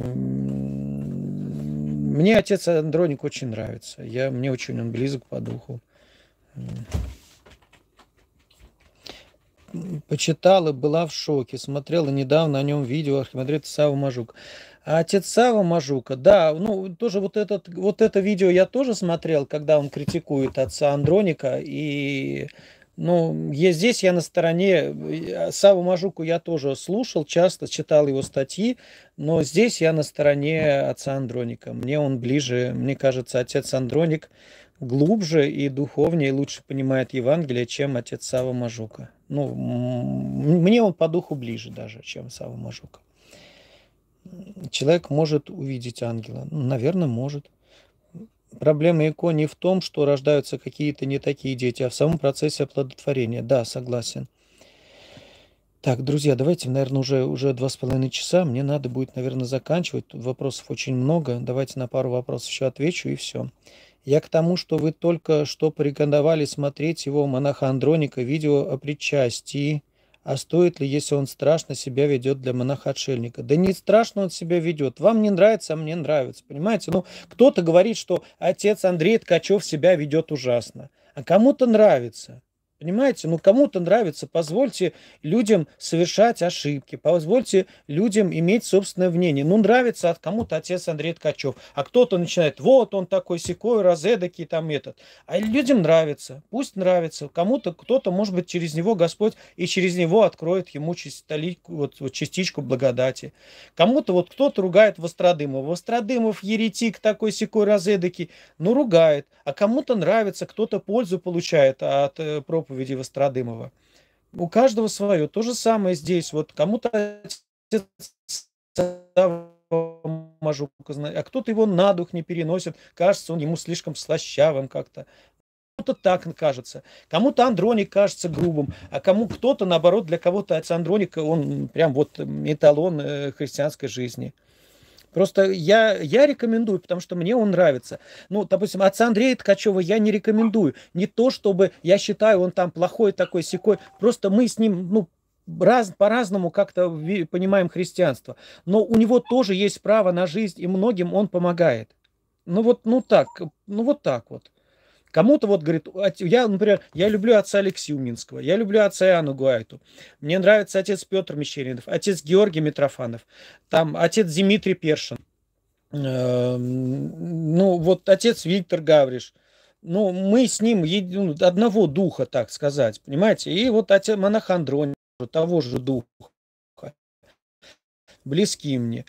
Ну, другой. Кому-то нравится отец Дмитрий Смирнов, кому-то там отец Андрей Ткачев, там отец Артемий, не знаю. Ну, разные у людей вкусы. Ну, пусть, пусть тут все цветы. Пусть религии соревнуются в любви, пусть священники соревнуются в любви. Вот так вот. Батюшка, за стрижку мне высказали э, сами две монашки, те, кто там поют что это грех, так написано в, переч... в перечне грехов, что я не молодая, а для мужа, и мне самой чувствую в душе лет на 30. Да монашек не слушайте. Как правило, в монастырях, понимаете, там нет духов... они не получают духовного образования, а пытаются, пытаются из себя изобразить э, духовных э, наставников. Никто, не благос... Никто им, не... церковь им не поручила наставлять людей в духовных жизни. А вот эти книжки грехов давно уже, э, уже о них высказались, кто только по ним не прошелся. Я категорически против вот этих книжек для, с перечислениями грехов. Категорически. Исповедуй грех, батюшка, опыт построения исповеди, э, все вот эти вот, все вот эти общая исповедь, вот эти книжки, я категорически против них. Они мешают только настоящей, настоящему покаянию. Они сводят покаянию, покаянию просто к отчету о проделанной работе и просто приводят людей в в неврастеническое состояние. Поэтому не знаю. Пусть они нравится им читать эти книжки, пусть читают. Ну, поэтому проблема с, монастырями. Вот почему я говорю, отец Андроник, он лучше разбирается меня, э, лучше меня разбирается в вопросах молитвы, внутреннего делания, э, борьбе с, борьбы со страстями и так далее, вот таких вопросах. Но я лучше его разбираюсь в вопросах семейной жизни, вопросах организации приходской жизни, в вопросе э, взаимоотношений людей там на работе, ну, в таких вот, в таких коллективах. Понимаете, у каждого свою. Вот и э, монахи, они не разбираются в вопросах семейных отношений, поэтому не надо им задавать вопросы о, семейных, о семейной жизни. Ну, потому что они в силу своей вот, ну, своей, особенностей своей жизни не, не знают, как, как жить. Они только знают на теории. Хотя вот у меня вон, э, в Псково-Печорском монастыре там духовник э, Мирян, который принимает э, Мирян, старец, отец Иона. Он был приходским священником у нас в деревне в Волгоградской области. Это друг моей мамы. Он знает, она его очень хорошо... Ну, наш, у них в деревне он был, их, их батюшка. Отец Василий он был. Вот он, отец Ион, он принимает э, мирян, с ней, чтобы общаться с ними. Почему? Потому что он сам много лет был женат, э, и жена не выдержала жизни в деревне, куда его сослали, там, где Макар телят не пас. И она не выдержала, забрала четырех детей и уехала. И вот он принял монашество, и теперь вот у него есть опыт хотя бы семейных отношений каких-то. Вот, и он принимает людей. А если у человека нет опыта семейных отношений, что он может сделать? И монашек тоже слушайте поменьше в этих вопросах. Они пусть учат духовности, именно молитве. Еще вопрос, батюшка. Мы с супругом причащаемся очень редко, раз-два э, раза в год, потому что нам тяжела подготовка. Три дня поста, вычитывание всех канонов. Еще сейчас грудной ребенок. Как быть? Бонька, иди сюда. Что там у тебя? А, ну, у меня есть видео о Евхаристии, отдельный этот вопрос, поэтому мне кажется, что вот так, та подготовка к причастию, вот эти три канона, это все-таки пришло к нам, знаете, больше откуда? Что там у тебя? Что ты, ты грызешь? Бонька? Пришла к нам со времени, во время так называемого э, евхаристического охлаждения, когда люди причащались раз в год. Ну, естественно, если ты причащаешься раз в год, то, ну, давай как-то хоть подготовься к этому. А если ты причащаешься на каждой литургии, то зачем тебе 100 канонов вычитывать? Лично я не знаю ни одного священника, который э, вычитывал бы три канона перед причастием. Обычно только последования, а некоторые даже последования не читают. Я перед причастием тоже не читаю последования, но я читаю Евангелие перед причастием. Всегда много-много Евангелия. Вот, пластмассу какую-то съела собака. Нельзя. Нельзя собака есть. И Поэтому смотрите, как, ну, понимаете, вы смотря куда, ну, смотря какой священник будет. Некоторые священники требуют неукосительно быть на всеношный, прочесть все каноны. И... А я считаю, что человек должен настроить душу на причастие. А как он будет делать это, это его касается. Э, будет читать Евангелие, читать Псалтирь, прочитывать там 100 канонов, э, делать тысячу поклонов, э, прочитывать там 500 Иисусовых молитв, не знаю, вот важно, чтобы он настроил душу на причастие, чтобы приступить с верой и страхом Божиим. Вот что главное. А есть вот там такие традиции, есть такие-то традиции, но каноны, не знаю, я, я не очень люблю каноны. Мне византийская поэзия, я небольшой любитель византийской поэзии.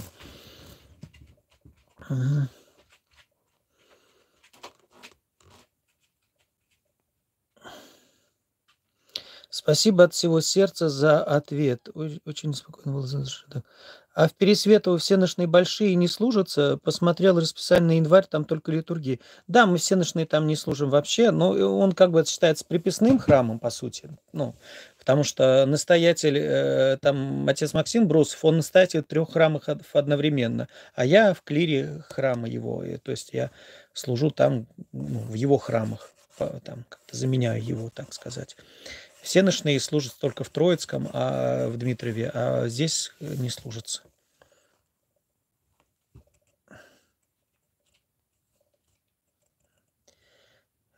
Так, э, спасибо вашему... Э.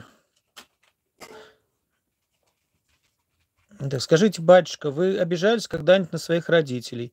Ну, в детстве, а может, когда ты был маленький, мог обижаться, когда... Ну, знаете, у меня дедушка говорил так, на обиженных воду возят всегда. На обиженных воду возят. Ну, что толку обижаться на кого-то? Понимаете, если бы я обижался на родителей, я бы не смог состояться как человек. Обиды э, на своих родителей э, перечеркивают всю нашу жизнь просто. Они рождают вот все эти комплексы детские. Мы начинаем обижаться, кому-то пытаться что-то доказывать, вместо того, чтобы жить просто, просто жить и радоваться жизни. Мы пытаемся кому-то что-то доказать. Я не такой, как мой отец. Отец мой был алкоголиком, а я никогда не буду пить. Вот моя мать все время ругала всех, а я не буду своих детей ругать, чтобы не быть как моя мама. Ну зачем так?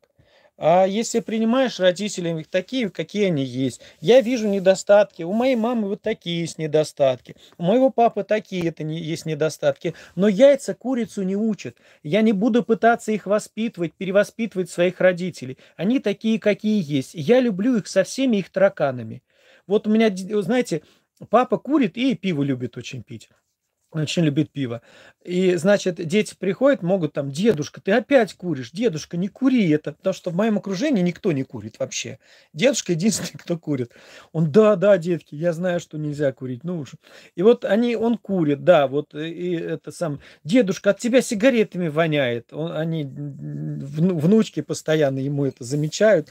Но, но, понимаете, да, у него есть такой недостаток, но что же мне его ругать за это постоянно?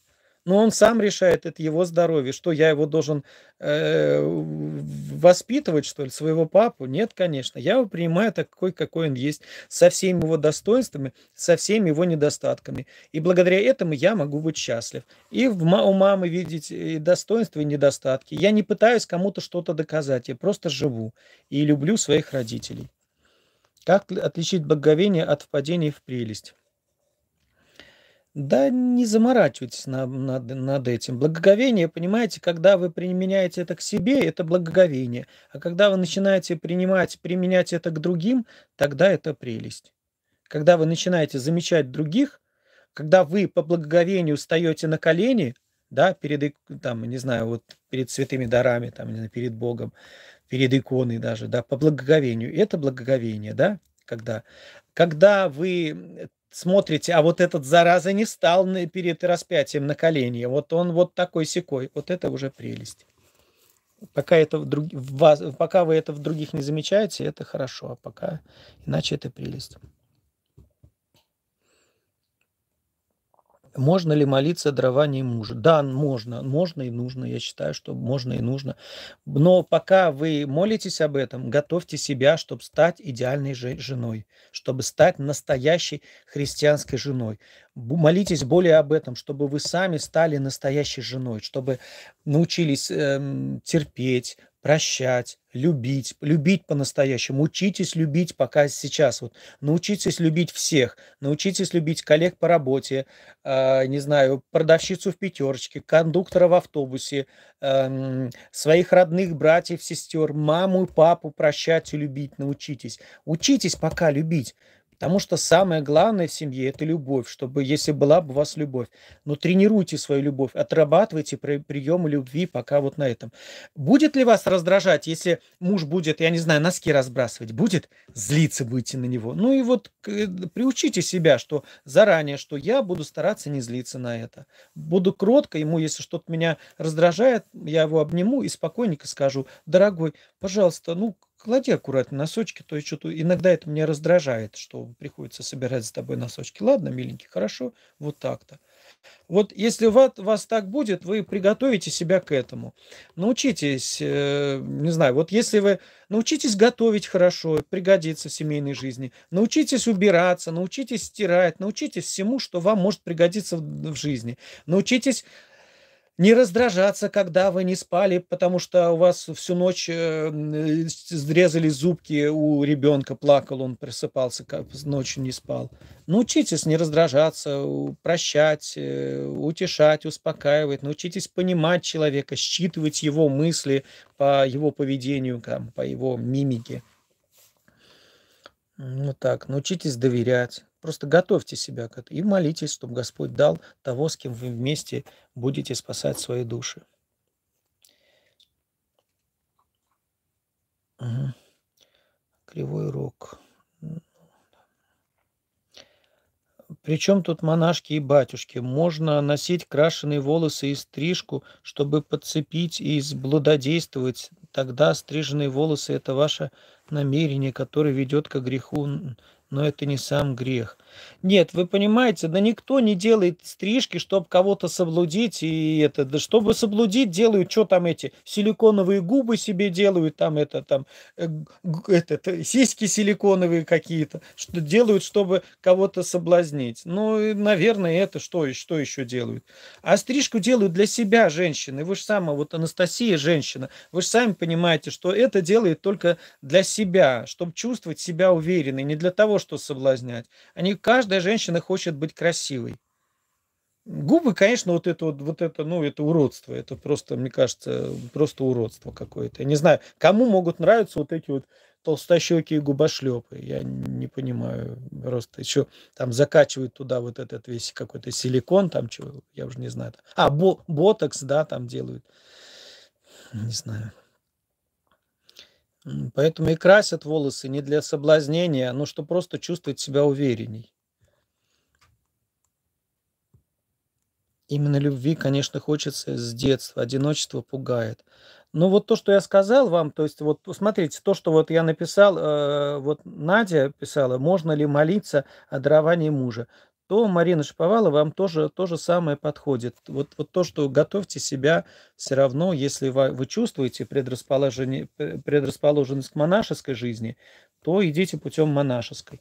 Если вы чувствуете, не чувствуете этого, то, наверное, все-таки, может быть, ищите семейной жизни, потому что не полезно бывает человеку быть одному. Почему я вот сам решил жениться?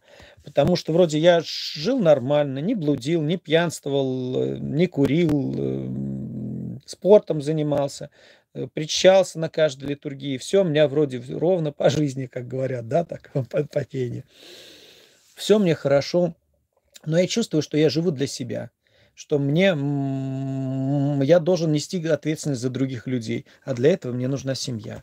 И у меня появилась семья, у меня появились мои девчонки, жена, две дочки, вон собака даже появилась.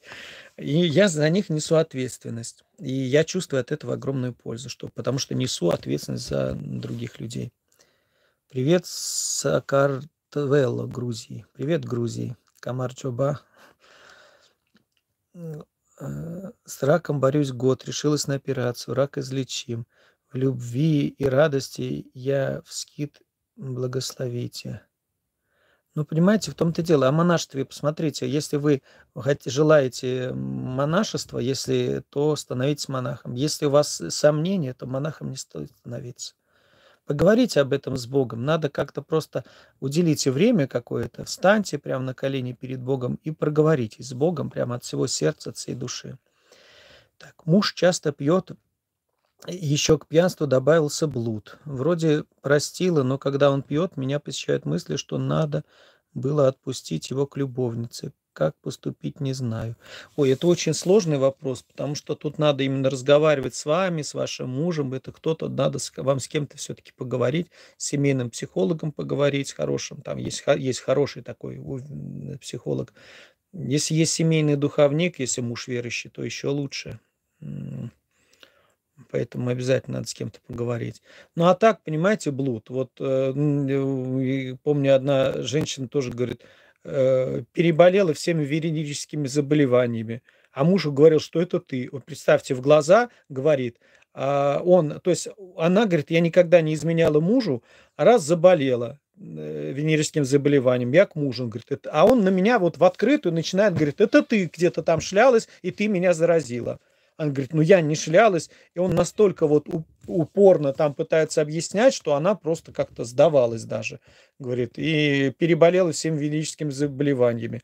Так нафиг надо такое, так, такой брак, если э, муж налево ходит. Как тут? Там, ну, одну измену можно простить, а если систематически с пьяну и начинается блуд, тут, ну, тут, не знаю, тут, представьте, аспидом заразит он вас, да не дай бог и будете потом всю жизнь страдать. Не, не надо. Так, я тоже хочу любви, и вряд ли есть человек, кто, к эту, кто к эту любовь не ищет. Прежде всего, любовь должна изливаться из наших душ. Ну да.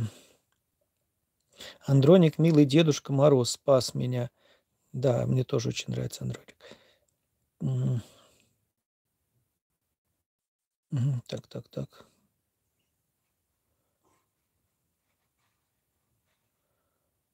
Так, давайте сейчас.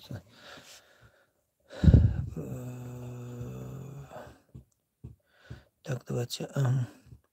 А я любитель византийской поэзии. Теперь, что отец Александр мне враг, это личное дело каждого. Ну да, вот кому-то нравится византийская поэзия. Мне не нравится вообще, вот, например, мне не, не нравится э, поэзия эпохи Возрождения и древнегреческая поэзия. Мне не нравится Катул, мне не нравится Софокл, мне не нравится поздние там, э, не знаю, Петрарка, э, Данте. Ну, не понимаю можно сказать, это гораздо лаконичнее, гораздо, проще, короче. Ну, не нравится.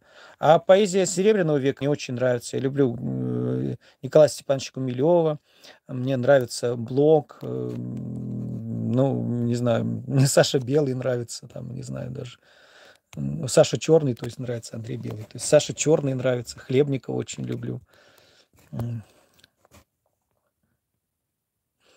Так. Живу в Гомеле. Гомеле. Э, отец Мажука мне не нравится. Не сам он, не его проповеди, а то, как он преподносит проповеди.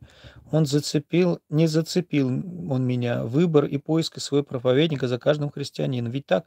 Абсолютно так. Понимаете? Не открывайте совести твоей, твоему, совести твоей тому, кому не открывается сердце твое. Поэтому пусть вот вам открывается что-то близок по духу. Да. Простите, простите, последнее время что-то этот VPN опять вот зависает практически. Как любить люби- людей, если тебя на работе подставляют ради своей выгоды? Ну, с самого начала я же об этом говорил. Ну, как вот любить людей? Ну, жалко же вам людей, потому что они же сами страдают от этого. Никто не хочет быть плохим, никто не хочет творить зло, никто не хочет никого подставлять. Но люди, оправдывая себя, творят какие-то беззакония, делают какие-то грехи. Ну, вот, вот так вот, по слабости. Вы же себя прощаете. Ну, и вот так же и прощайте других. Дайте право на ошибку и себе, и другим. Бога нет никто никогда не видел же его. Бога, ну, слово Бог пишется обычно с большой буквы. Ну ладно, нет, знаки препинания. Никто, надо писать никто одним словом. Не никогда, никак, никогда. Не видел, уже правильно написали. Там просто неправильно написали частицы. Ну, смотрите, атомы тоже никто не видел. Ну и что значит, атомов нет? Ну вот кто-нибудь видел атом? Нет. Батюшка, душевно благодарю вас за ответ. Ага. Вот ответ пишет. Если вы Бога не видели, это не значит, что Бога нет. Вы меня не видели, но я есть. Согласен. Эм, Как, э, так, так, так. Перед причастием нужно исповедоваться. Если причащаться каждое воскресенье, то говорить одно и то же, иногда не знаешь, что и сказать. Как тогда идти на причастие с формальной исповедью? А попробуйте найти храм, где нет обязательной исповеди без причастия, э, перед причастием. Это тоже, ну, попробуйте, вдруг попадется такой храм. Ну, в большом городе это есть возможность такая. У нас в храме нет обязательной исповеди перед причастием для постоянных прихожан. Постоянные прихожане, они сами знают, когда им надо на исповедь. Особенно это касается детей. У нас дети, знаете, вот э, у них более осознанно стало это. Они приходят, говорят, батюшка, э, ну, обычно даже после службы дети приходят к причастию, ну, уже редко приходят к началу службы, у нас исповедь перед литургией. И они редко успевают на исповедь. И если кто-то хочет, бывает, после службы, подойдет кто-то из детей, батюшка, мне надо, отец Александр, мне надо поисповедоваться. Я говорю, ну, пойдем поисповедуется, он там, если когда ну, сильно виноват, чувствует, что он, у него прям серьезная какая-то проблема, сделал какой-то большой грех, и вот тогда он идет на исповедь. Мне нужна исповедь. И мне кажется, это очень правильно, что он не, не а так они причаются на каждой литургии детки, и приходили бы и говорили бы это формально. Согрешил делом, словом, помышлением, маму не слушался, в среду сардинку, э, в среду пост нарушил, и, это, и м, ссорился, и плохие слова говорил. Все. Ну, вот это формальность. А так он пришел, эм, э, за за каждой мелочью не бегает на исповедь. а приходит, когда у него действительно проблемы. А для маленьких грехов у нас есть ежедневное покаяние наше личное, в чем мы виноваты, там даже вот в вечерних молитвах есть э, ежедневная исповедь. Там написано делом, словом, помышлением, раздражением, празднословием, унынием, леностью и так далее. Вот это в этом мы каемся. Поэтому, если есть возможность, поищите, может, найдете храм, где нет обязательной исповеди перед причастием. Об этом много говорили. Отец Алексей Уминский об этом говорил, отец Павел Великанов об этом много говорил, отец Петр Мещеринов об этом говорил. Ну, многие, много из отцов, которые этот вопрос поднимали. Даже отец Андрей Ткачев тоже об этом говорил, кстати.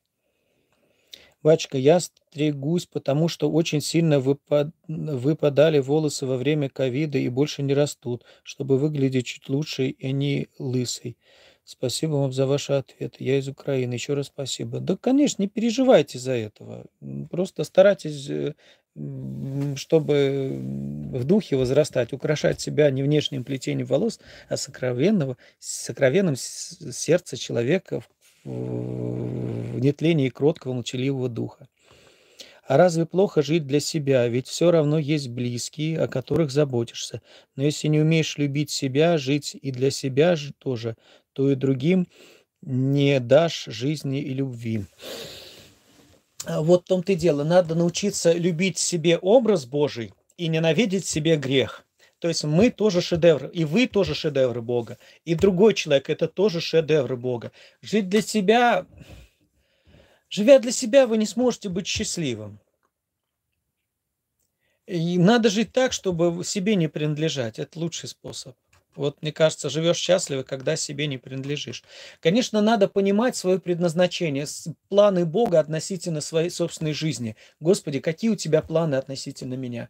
И осознавая это, стараешься как-то э, соответствовать этому плану, вот э, своему предназначению, э, для чего я живу и в чем смысл моей жизни, эм, в чем мое призвание. Это, конечно, необходимо. И здесь надо реализовываться, стараться. Но жить для себя, нет, мне кажется, это не помогает. Это не будешь счастлив тогда. Надо забыть самого себя. Для примера жизни не для себя, вот я приводил вот пример доктор Лиза, которая, ну, казалось бы, тебя дети дома ждут, у тебя там муж, там все дела, э, куча дел, живи ты для себя. Она ездит в Африку и там детям голодным помогает, там лечит их бесплатно. И в итоге разбивается, умирает э, молодой. Ну вот так.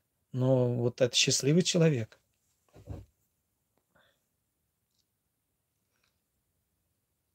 Естественно, себя надо любить, но образ Божий. Тогда и в другом вы увидите образ Божий и возненавидите грех. Так, так я именно это веду, имела в виду. Можно что-то делать намеренно, желая греха, а можно, напротив, делать некие дела для борьбы с грехом. Можно быть красивой среди мирских людей, и это хорошо, а можно среди монашествующих быть некрасивым лицом, но красивой душой. Да, Анастасия, абсолютно согласен с вами.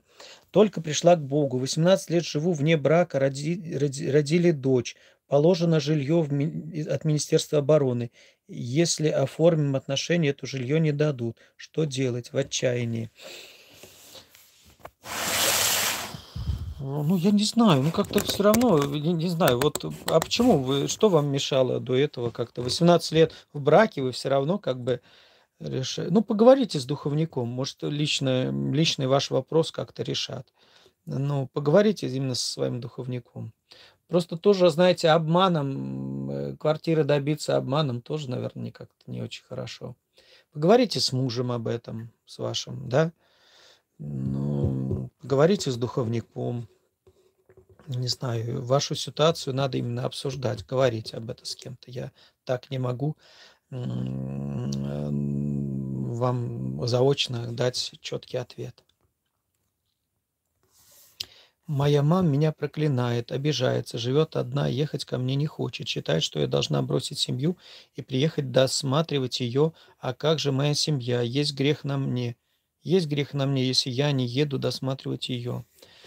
Ой, нет, знаете, иногда бывает проблема, что иногда у стариков бывает проблема такая, э, что они ну, иногда вообще с детства э, у человека такая проблема, там, нарциссизм, там, психопатия, когда люди эгоистичны и требуют всего только для себя, чтобы им было хорошо, и дети должны им служить как рабы.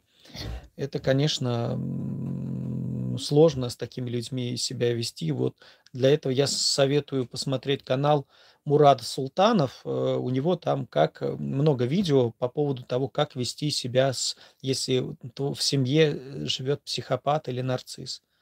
Ну, смотрите, как с ними себя вести, как с абьюзером себя вести, когда человек абьюзит вас, то есть насилует как-то морально вас. Ну, естественно, вы семье своей принадлежите. Оставит человек отца и матерь свою и прилепится жене своей. Будут двое в плоть единую. Сам Господь заповедал так. И вы же ей тем более дали возможность, говорит, приезжайте к нам, приезжай к нам. Если она не хочет, ну как, семью не, не, не имеете права бросать. А если муж не выдержит и уйдет к другой, нет, вы не имеете права так. Не позволяйте собой манипулировать. Не надо, можно себя, понимаете, уступать другим, служить близким, это надо. Но нельзя позволять собой манипулировать. То есть внушать вам что-то, там, чувство вины там постоянное какое-то или еще что-то. Не позволяйте это делать. Когда вам кто-то начинает внушать чувство вины, что вы на пустом месте виноваты.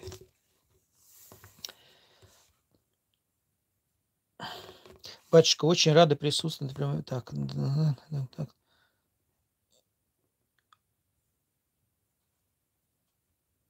Я сегодня прочел три каноны и последовательно для причастия, литургия воскресенья. Правильно ли это? Ну, смотрите, как, какая разница. Просто ваше, вам важно настроить душу на причастие. Как вы это будете делать, неважно. Важно, вам важно приступить с верой и страхом Божиим. Как вы этого будете добиваться, это дело ваше. Просто есть определенные правила для человека, который вообще ничего не знает, не знает, как настроиться. Он, и вот есть определенные уже наработанные правила. Вот это следуйте наработанному правилу. Если у вас нету э, других, э, не знаете, как вам поступить, поступайте формально. Если вы знаете, как поступить, поступайте по духу. Ну и здесь то же самое. Смотрите сами. Я же не знаю, как ваша душа, что вы... Я не вижу вашу душу. Я не знаю, готовы вы ли к этому, есть у вас вера и страх Божий или нет. Кому-то вообще ничего не надо читать. У него и так вера и страх Божий рождается просто при словах «со страхом Божиим и верою приступите». И все, он уже, он уже полностью сосредоточен на причастии, он соединяется со Христом в таинстве а кому-то 100 канонов вычитать, и то мало. Помолитесь, пожалуйста, за раба, за раба Божия Максима о благополучной дороге. Сейчас только поехал в дальнюю, очень важную сторону. Помоги, Господи, ангела-хранителя ему. Вера состоит в том, что мы не видим то, во что мы верим, а наградой за это то, что мы видим, то, что мы то, во что мы верим. да, здорово, здорово сказано. Давайте на этих словах закончим. Хорошо? Слова замечательные. Давайте повторим их. Вера состоит в том, что мы не видим то, во что мы верим. А наградой за это то, что мы видим то, во что мы верим. Поэтому, ну, друзья, научитесь прощать, научитесь любить, научи, уч, давайте будем учиться э, не видеть в человеке врага. У нас нет врагов среди людей. Наша брань не против плоти и крови, но против начала, против властей, миродержителей тьмы века сего, против духов злобы поднебесных. Э, против них наша вражда. А люди, и даже если творящие лютое зло, это слепые, слепые орудия дьявола. Ими, Бог, ими дьявол манипулирует, но Бог желает спасения каждому человеку. Бог желает, чтобы каждый человек спасся и пришел к познанию истины. И вы тоже молитесь больше всего за тех, кто больше грешит. Они больше нуждаются в вашей молитве. Храни Господь.